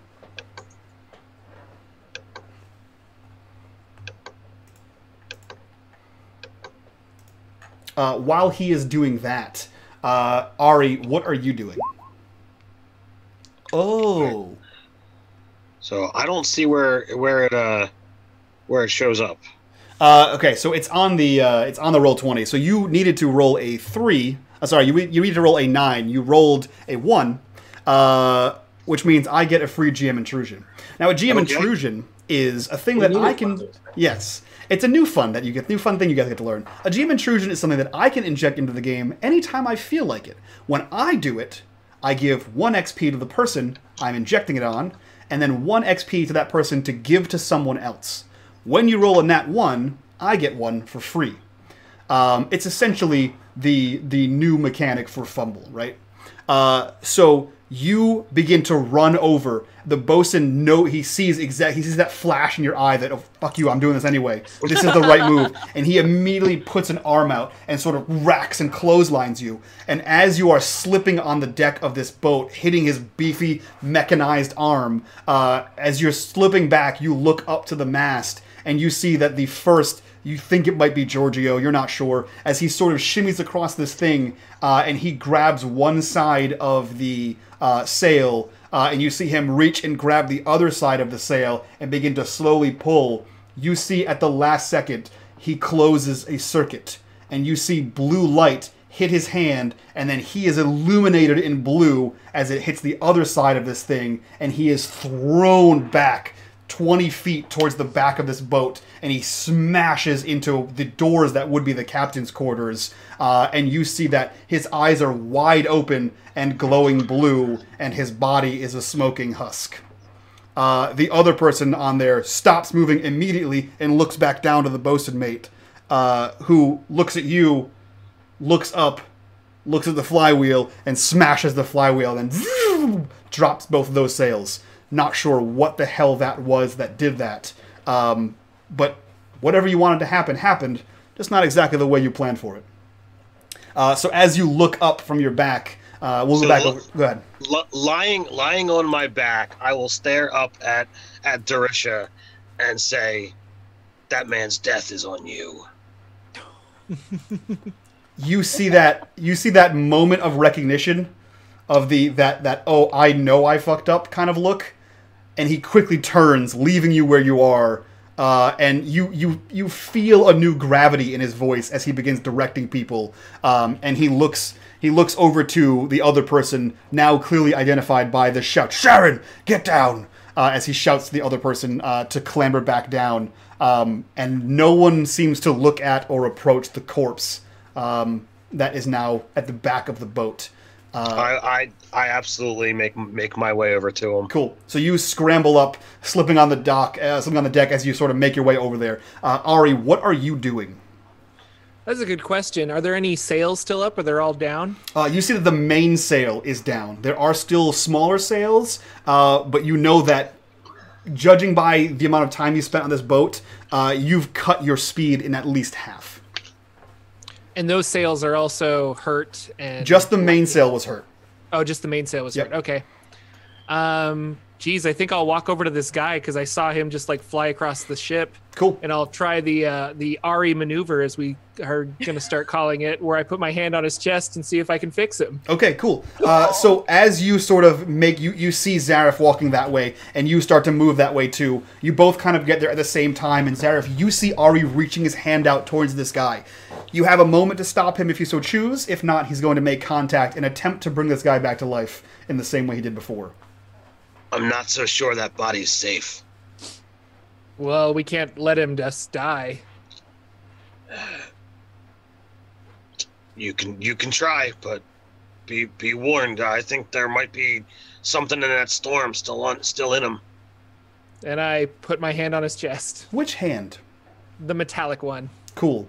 Uh, the moment you press your hand to his chest, you feel some kind of energy course through your body.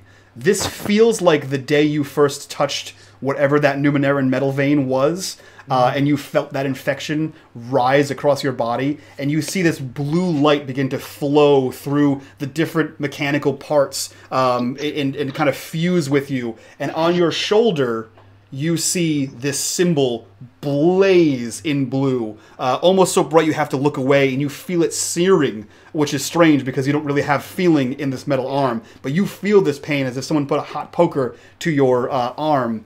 And Wyloch, you recognize this symbol. It is the only symbol that sticks in your brain from the time you touched whatever it was that you touched, and sort of get that dot in your head.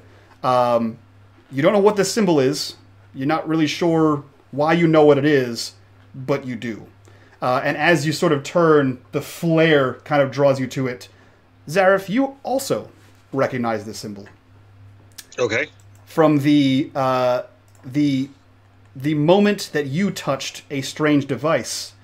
You can't picture what the device is anymore, but the symbol that was etched on the device is the exact same symbol that is now flaring to life on Arri's arm.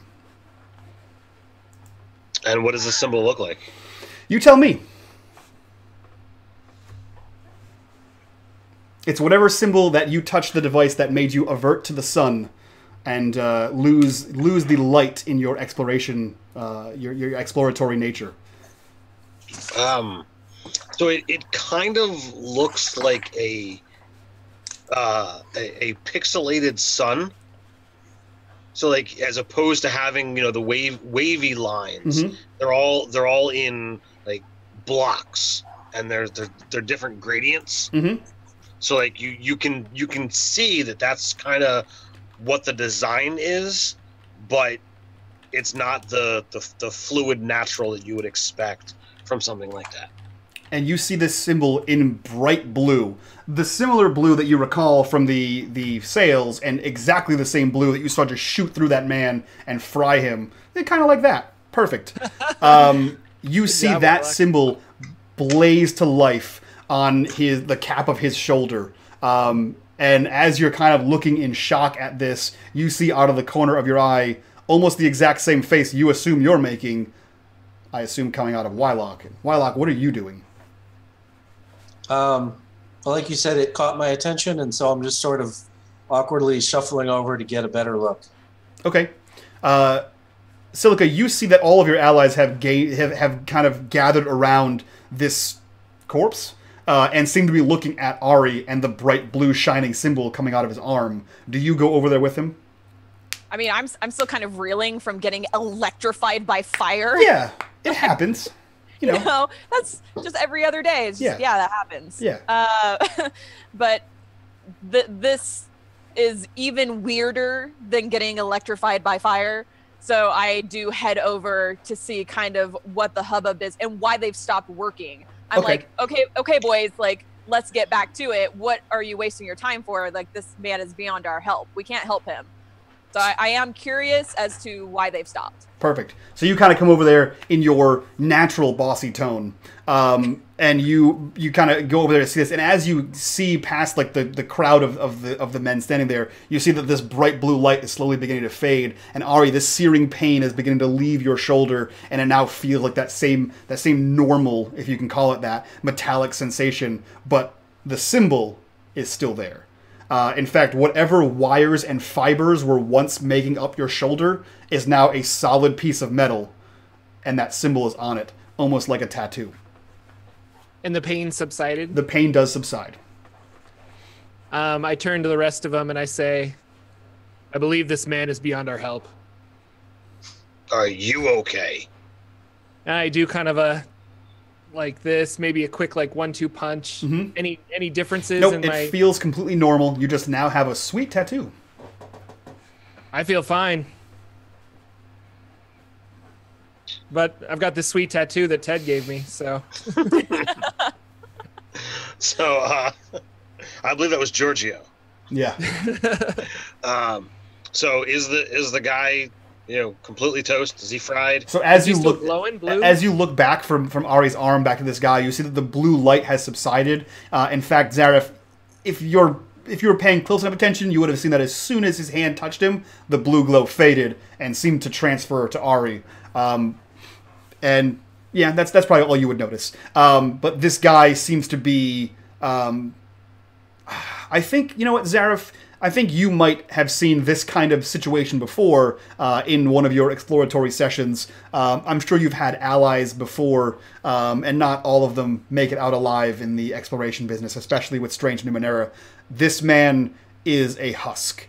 Uh, and in fact, now that the lights have left his eyes, you can see that there's nothing behind them. Like he is, he seems to be hollowed out from the inside. That with enough pressure applied to this guy, he could probably just poof into dust.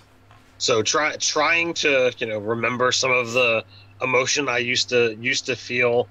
I'm I'm I'm trying to to to well up and you know give this guy something more than what what I'm able.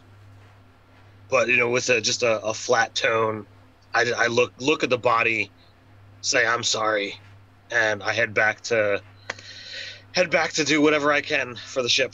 Cool. So you say your you say your goodbyes to this this Giorgio who gave his life for the albatross, um, and you as you see, uh, it is it is in fact easier for this husk to draw a well of tears than it is for you as you see the cavities of his eyes slowly begin to fill up with the rainwater and begin pouring down his face um, as you stand and sort of turn suddenly back to the rest of the crew. Wyloch, you see this happening. You saw Zariff's reaction. Arri, you're still standing there. Silica, you clearly see that this was something slightly more than just, let's go check on this corpse. Um, what are the three of you guys doing as Zariff begins to walk away? I've got some. Uh, I pull out my journal type of thing, Mhm. parchment, uh, and I'm sort of messing with Arri's arm, and I'm just recording the symbol, saying it's just in case we. Uh, don't worry about it. I just like to draw. So Just like, a backup with a symbol. so like an intrusive doctor, he begins to jostle you around as you begin to Yeah. rise. Just Um, recording the symbol for yeah. future use. Uh, so yeah, you're able to easily jot that down in your notes. Um, Silica, what are you doing in this situation right now?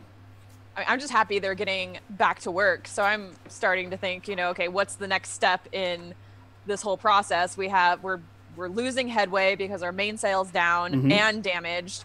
We're we have a time limit on how long this fire retardant flubber or whatever it is is going to last. Mhm. And so I'm, you know, looking towards the first mate, the bosun, the captain, looking for direction on okay, what what do we do next? Okay, so because you're a very personable young lass, uh, go ahead and roll me your ability to charm.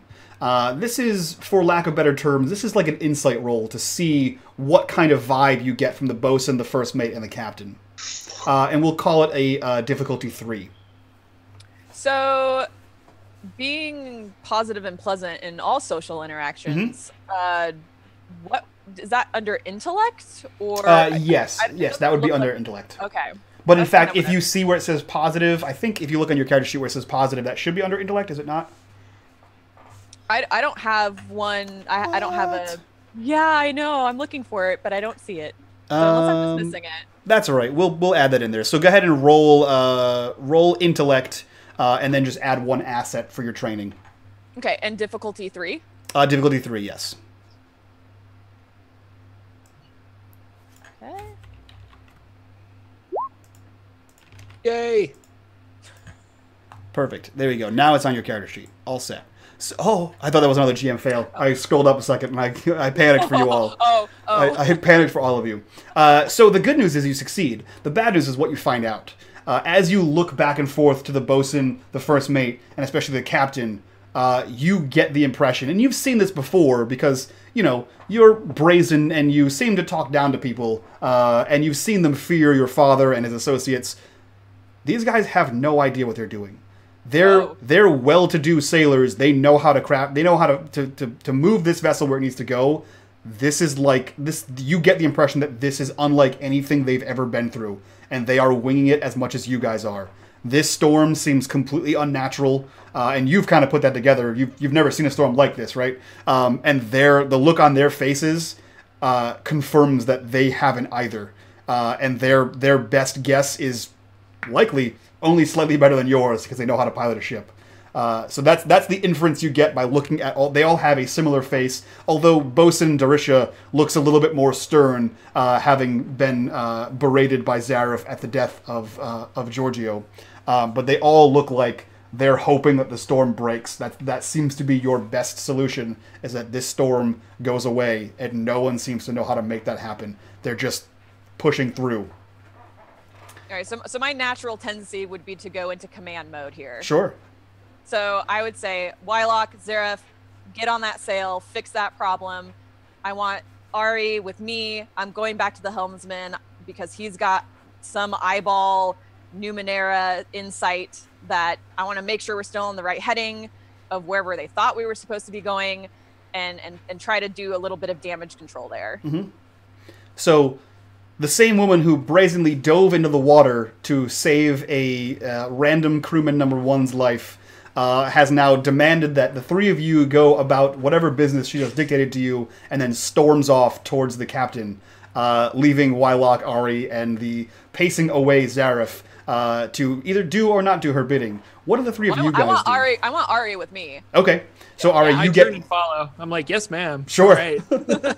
you recognize the authority that any Yep. that any down home mining community guy should. Uh, Wyloch and Zariff, you're left sort of standing there. Zariff, you were already off to do something. Uh, what are you doing now? Uh, I'm gonna go take a look at the at the sail now that it's down.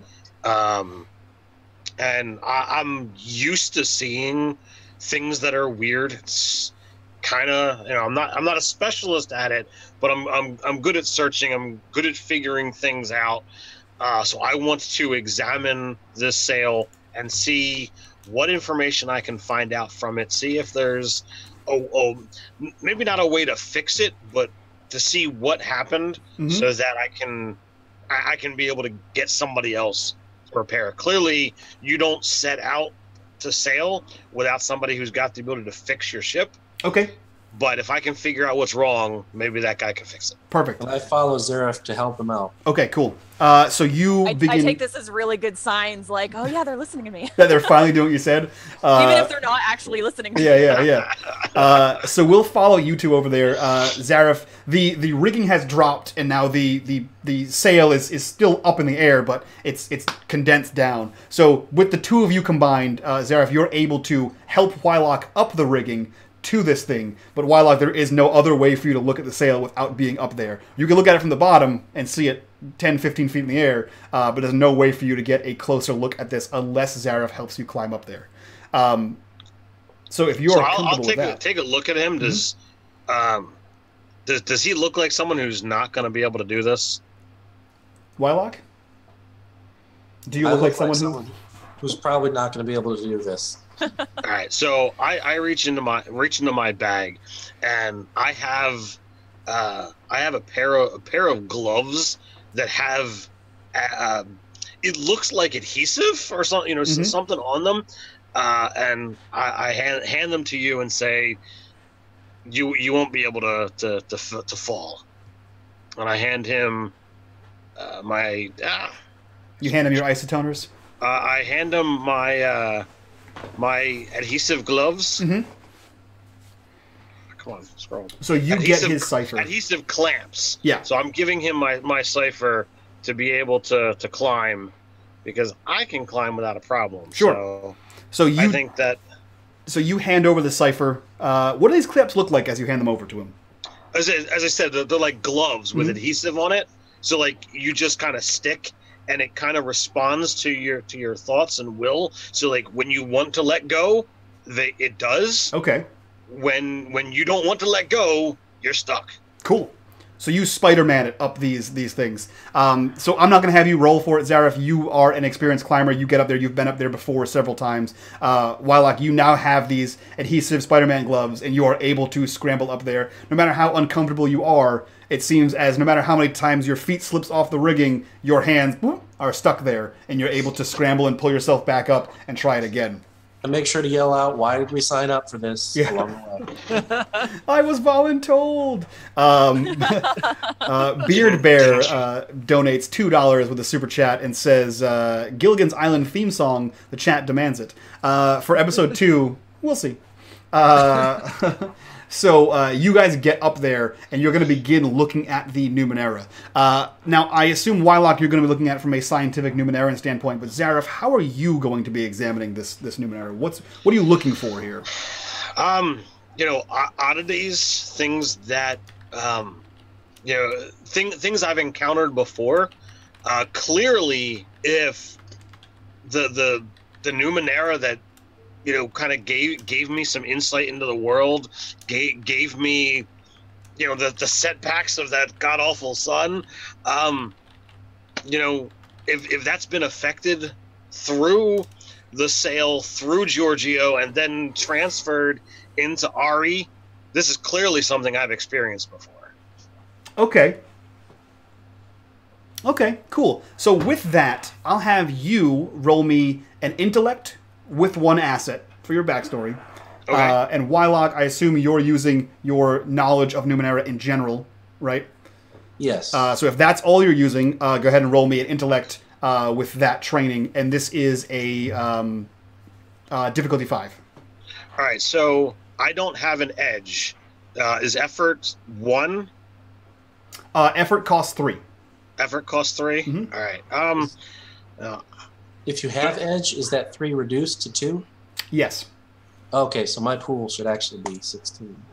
Yeah, anytime you, anytime you, so if you have uh, edge in something, anytime you would spend uh, from that pool, it's reduced by one. But the the wonky bit for um, spending a pool is it's only reduced the first time. So you, if you're spending, so it, once you hit level two and you have two effort, if you use two effort, you reduce that by one at the beginning. So it wouldn't be uh, three Per- points; it'd be four points instead of instead of the normal five. Gotcha. Um, Wyloch succeeds, uh, and right, uh, so- all right, so I'm going. Uh, I think this is important. Mhm. Uh, so I I will apply effort. Uh, what is the difficulty? Uh, it is a difficulty five, and you have one asset from that uh, eloquent backstory you implied. All right. So roll. Hey, did those two XP get handed out, or is Uh, so the XP from the uh, the intrusion uh, Yeah. only happens when I decide to intrude. That was a nat Oh, one, yeah. which means I get a free one. killing a crew member wasn't an intrusion? Uh, that was the intrusion. Yeah, yeah, Oh, okay. yeah. He was he was the, he was the intrusion. Him closing the But- bridge on whatever this was was the intrusion. Uh, Wyloch getting knocked on his ass was the failure. The intrusion was that guy getting killed. All right. So did you see the roll show up? I did. You both have uh, midi crits. So, uh, Wyloch, you have an immediate success with no special bonus. Um, and uh, Zer- uh, Zariff, you have a success with a minor effect. Okay, so from Zariff's perspective, you're looking at more of the interaction between Numeneran devices, a thing of which you have seen before. Um, without really conversing with Wyloch, getting up close and personal with this thing, you are looking, I assume, without touching, based on exactly how you just saw one of them die. Um, without touching this, maybe grabbing the pole and kind of lifting it as best you can to see Yeah, this. Um, I'm trying my best to not not get a, a repeat performance. Right, right. You see that uh, the the wherever the lightning seems to have touched, Uh, holy crap! Uh, Monte Cook Games hits that super chat for ten dollars and says, "Great job, everyone. May your ciphers never malfunction." Uh, don't don't wish that on them, Monte Cook. Uh, I want them all to malfunction. That's the point of the game. Monte Um, Cook is awesome. Thank you for being here. Thank you for enjoying the show. Uh, stick around. Uh, we have a good uh, good 30 minutes left.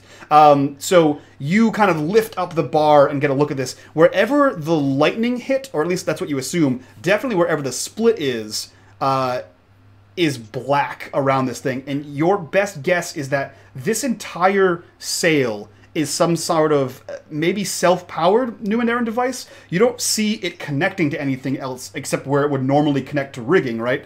Um, but you see that wherever the lightning touch and wherever it's splitting is slowly beginning to fade, and it's it's stretching further on the left-hand side. So the part that's connected all the, all the way across to the right-hand side of the ship uh, the longer side has more power and is, is blackening less. But the other side, the shorter side, is beginning to fully start to blacken. So it seems as though whatever the left side of this is, it's been severed from the power supply um, and is powering down.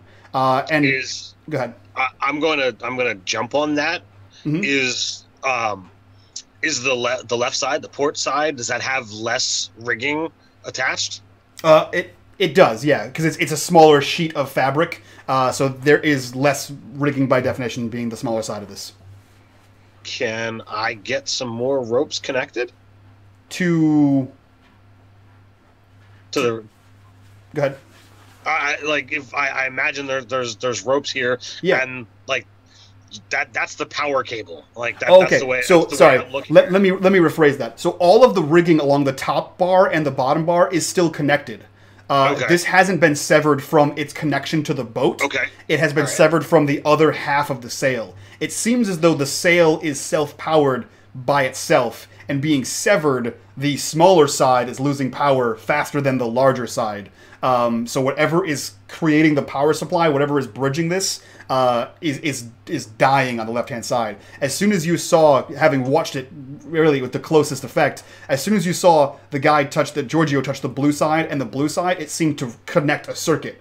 Um, Mm, okay. So the fact that this is split seems to be creating that gap in the circuit. However, clearly Giorgio, being a man of flesh, uh, was not enough power to make to bridge that gap.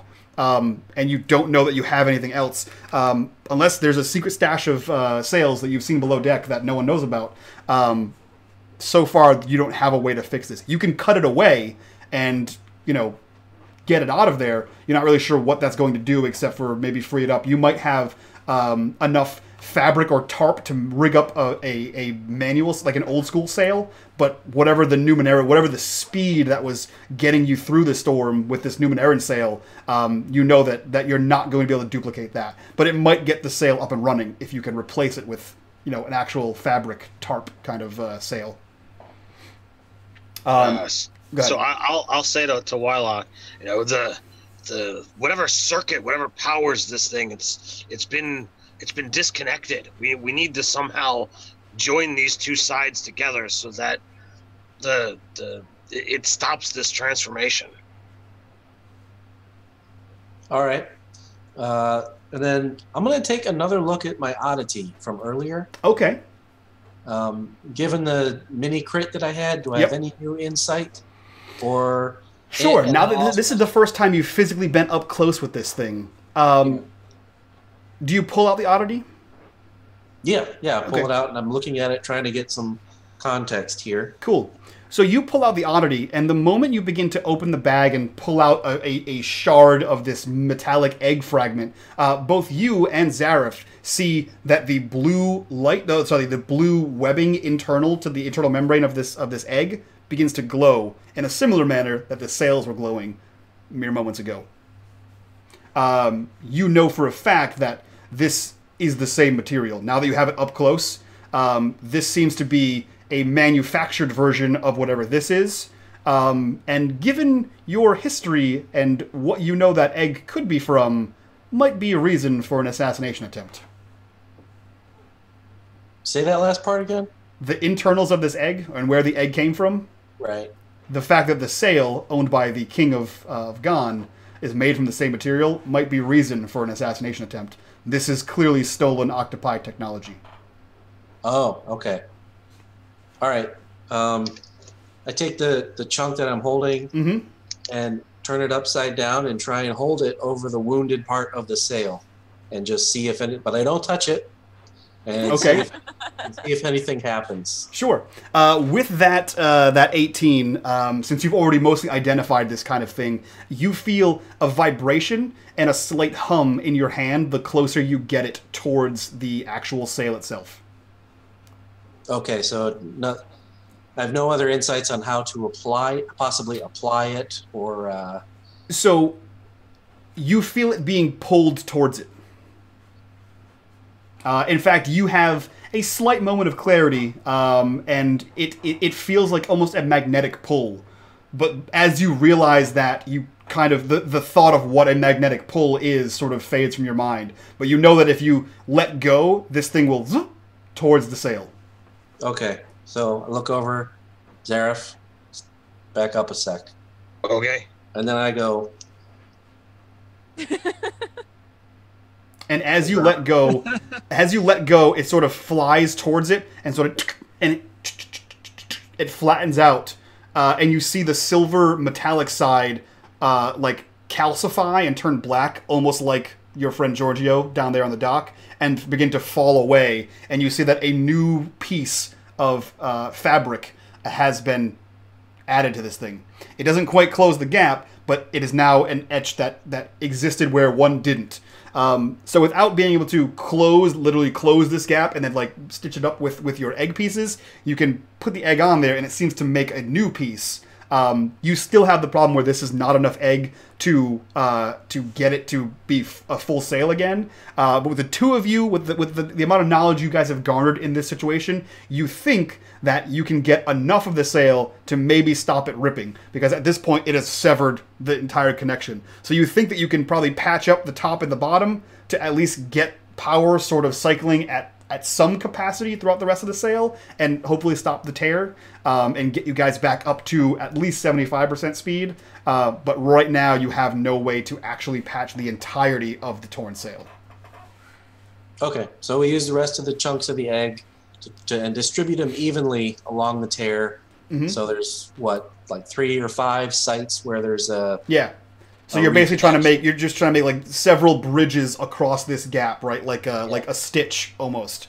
Yeah, Um, best we can. Cool. So yeah, Zariff, you're kind of holding this up and, and sort of positioning this in a way that, that he's able to get to it without actually touching it as he whoop, whoop, whoop, whoop, with the egg pieces as it sort of splats on there and you see it calcify and fall away. So together, you guys have made several band-aids on this hole and you're confident that unless struck by some kind of, you know, crazy lightning again, who would do that? Uh, it will hold um, enough that you guys can get the sail back up and start moving again. Well, while it's still down, Mhm. uh, I, I, I, I have utterly disregarded Darisha. Uh, I'm not even gonna, not even gonna speak to speak to him. Mm-hmm. Uh, but I am going to look for, um, is it Captain Quarko? Yep. Uh, he is at the helm where he has been the majority of the time, uh, shouting commands down to Darisha um, and the first mate. So, the the sails have been at least partially repaired.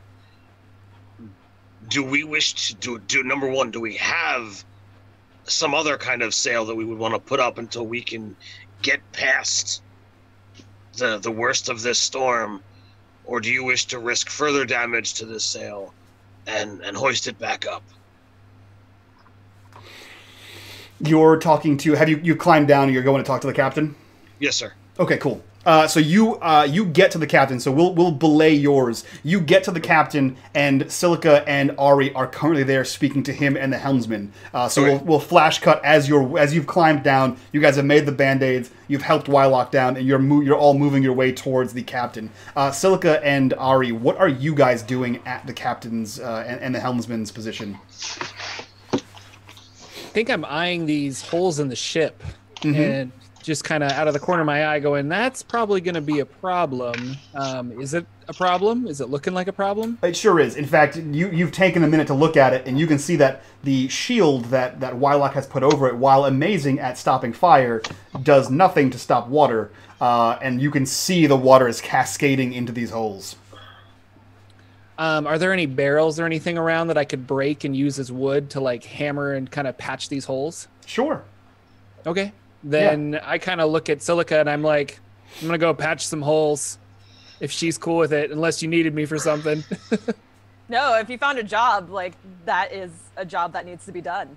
on it. And so I'm gonna run over and uh, like raise a barrel across my head like Donkey Kong and just chuck it down and try to break it into a bunch of larger pieces. And then I take those and jigsaw them as best I can with some hammer and nails and just try to plug up those holes. Okay, uh, so you are uh, excellent at smashing uh, mundane objects, so you don't have to roll for that. Um, what you can do is the first time you try to strike uh, a nail or some nail-like object into this wood and then through the deck of the boat, I need you to roll me a strength uh, DC three, or a might. Sorry, DC three. Been playing too much D and D. I know. cool. So you smash this nail through, and the moment it breaks through the wood and hits the actual deck, you realize quite fast that this deck is not, in fact, wood, and the amount of effort you have to exert is far more than you expected. But it eventually goes down in here, um, and it feels like the the the closest comparison you can make. This is like back to your mining days where you're hitting Yeah. a metal vein with a metal pickaxe. Um, this this was like grinding this nail through, but you're able to get it through. Now that you have the the the the way it works, kind of the, now that you have the feel down, you can easily sense. replicate that. Yeah. Um, so you begin to patch these holes to the best of your ability. Uh, Silica, that leaves you uh, with the captain and the helmsman. So I think the first order of business is to get people bailing water Mhm. in the event that we can't get these holes patched fast enough. Like Arri's working on it, but we don't know if that's going to be fast enough. Okay. So we need people down there bailing out water and then making sure with the helmsman that we are on course for wherever they thought we were going. Okay, so you're trying to take command of this situation uh, to the captain, I assume, on his own ship. Is that what I'm hearing? I mean, I had ascertained that the the chain of command was in disarray. Okay. So I feel comfortable enough with my upbringing Mhm. that I can bark out orders, and if that's not acceptable, the captain will stop me. I like I respect the chain of command, but if it looks broken, I'ma fix it. Okay, so you're just sort of shouting this out before you even get to the captain. right. Okay, so you begin shouting this out with the command and authority of someone befitting your station, uh, and one or two people, just by sheer force of oral will, snaps to, and they're like, "Oh shit, this lady's not fucking around," and they begin to like find buckets, and like one of them like panics and sort of jumps down one of the holes that Arri's about to fix, uh, and begins like sloshing water out of a porthole. Uh, the other guy panics and looks for the, the cargo stairs and looks for the bosun, and the bosun looks back at him with a scowl on his face, and then sees you and just sort of nods, and he goes downstairs.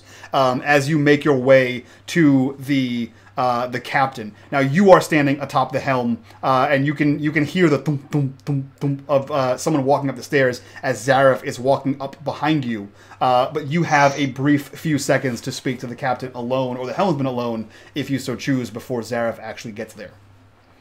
I, my first order of business is the helmsman. Okay. Making making sure we're on whatever course they had set, that that's still a viable plan. Okay, so you look down and you see that same numen this this ocular Numenera device, this this half circle uh, or half sphere uh, of some kind of translucent something with sort of metronomes and, and gadgets spinning and whirring like there are several compasses stacked on top of each other kind of going all over the place.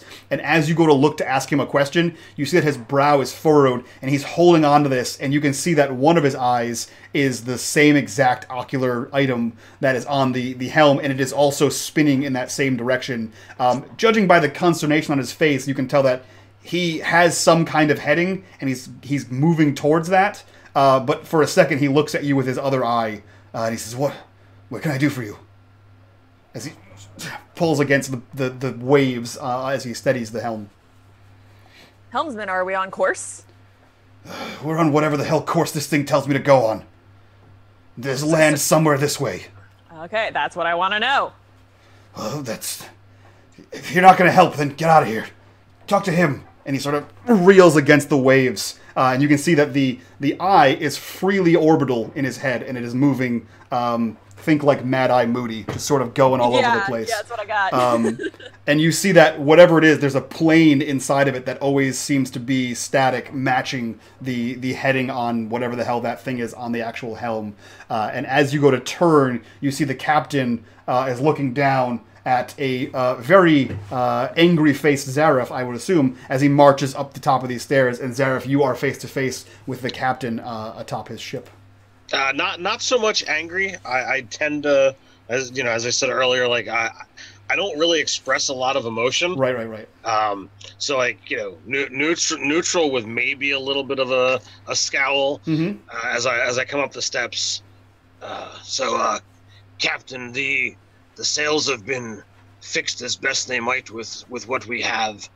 Uh, so, I would ask, do we have any kind of temporary sails, or do you want to put these ones back up in the height of this storm? he looks down to you and he, he looks he looks to the repair job and you can see that there's like a few breaks and you can see Wyloch struggling to get down as you kind of left him there um, and he looks to you and says the helmsman he, he he told me that we're we're almost through as far as he can tell whatever the hell that is um, he, he thinks there's land on the other side of this if, if the storm's not going to break uh, I don't know what this is I've never seen anything like this before but there's land out there and the faster we get to it the faster the faster we can be free of this and the faster we can repair whatever the fuck this storm has done to the boat. Well, without more uh, Wyloch's eggs, I don't see how we're gonna how we're gonna fix the sail any better than it is. I don't know what a breakfast item is going to do to help us with that, but we'll approach that later. Uh, do you that we have a we have a backup sail. It's it's a simple mundane cloth sail. It's not it's not going to get us out here fast. It will get us out, but if you think that the sail won't hold, you seem to be the only one that could have fixed it. You're the captain. I'm I'm just asking what what's your decision? Do we put up a different sail, or do we risk risk the risk that one in the height of this? You see like that nervous look of like this is a weighty decision. Like this is one of those like we all die kind of decisions. Um, and he looks to the helmsman uh, and the helmsman is staring down at the, the, the, the orb there and his eye is spinning and it's spinning and he's fighting against the thing. He looks over and he sees Silica kind of turning and walking towards him and he says no raise the mainsail. This will get us out here the fastest. The cloth sail won't do. Uh, it'll just get bogged down in whatever this is and if another lightning strike hits that it'll burn up immediately raise the mainsail. The faster we get out of here, the better off we'll be. So I I And you And, head uh, back down. Yep. Head head back down. Uh, you know, and begin. Uh, you know, getting a couple uh, crewmen. Mm-hmm. Get the get the the mainsail hoisted.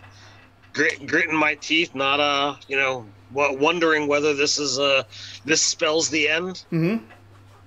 Uh, so you get to the the mast as Wyloch has finally gotten the way down. Uh, Wyloch, if you Hey, just- thought, go ahead. Yeah, just as I reach the bottom, there's a particularly loud thunderclap that sort of snaps my attention. And I'm looking at the sky and wondering is there any sort of pattern I can discern where the lightning is striking? Anything I can look into the weather patterns and my knowledge of the nature of, the, of physics itself and everything that I might be able to give guidance so that we should go this way a little bit, Mm-hmm. this way, and lessen our chances of hitting a bad wave or being struck again. Roll me Numenera uh, difficulty five. Uh, and Okay. as you do that, Silica, you approach the captain who looks back to you as Zariff begins to walk down. Is there anything you wish to say to him? I want to know what his orders are. Oh, Well, you just heard him say rig the mainsail. Uh, so basically, whatever the conversation was with Zariff, you overheard all of that. You're standing Oh, I right next to the guy. Yep. Okay, good. Oh! Ah, you win this round. Uh, so what is it that you, yeah? So you hear all of that, Silica. You're you're mere feet away from him. So you've heard his immediate instructions: raise the mainsail. The faster we get out of here, the better. There is land on the other side. At least that's what the helmsman tells him. Um, and you see Zariff make his way down there. Um, and as you kind of follow his trail, you see that Wyloch has perched himself in the middle of the deck and is looking up at the sky, just staring, as far as you can tell, blankly at the clouds. Um, what What do your elf eyes see? yeah. So we'll jump back over to Wyloch as proverbial lightning hits him. Um, and you, there is absolutely a pattern. Um, the lightning strikes in the same color pattern. It is a purple lightning, a green lightning, a blue lightning. um, and they seem to be striking in concentric circles, each extending out from each other. So it'll be a close circle, a further out circle, a further out circle, and so on and so on until you can no longer see the storm. But they're always that purple, green, blue, purple, green, blue as it gets further and further out. Um, and the the colors sort of roiling in between the clouds, sort of giving it that backlit look. Um, it looks as almost as if normal sun coming through clouds. So these dark purple and blue storm clouds, right? Uh, it almost looks like a sunset kind of situation where this this like bright orange globe is backlighting these things. So where you see the clouds meet, that seam between clouds, you see this bright orange kind of thing move and fade as the clouds kind of move against each other. Um, so you know that they strike. They move out, strike, move out, strike, move out, strike, and they seem to be going in a clockwise motion. So it seems as though this is or this this storm is orbiting on some kind of axis and moving in concentric circles in some kind of order, um, further confirming your suspicions that this is in fact some kind of Numenera-driven storm. Okay, so so with the crit, I'll say I this is one of my uh, the clouds clear and I sort of have a moment of clarity. So Mhm. I stroll confidently over to the helmsman and explain everything you just said. So make your header 20 degrees for 10 seconds and then Mhm. adjust so that we can avoid each rotation, as it were, and aim for the axis that we that I, that I think it's rotating around. Cool. So you help him navigate the storm itself. He has the seas down, he knows where land is, but you figured out the pattern of the storm. And as you are telling him this, he's clocking the, the, the steering wheel this way, kind of looks at you suspiciously, clocks it back as you sort of tell him, and then a lightning strike hits the water next to the boat, and he kind of looks at you impressed, cranks it the other way, another lightning strike hits further out.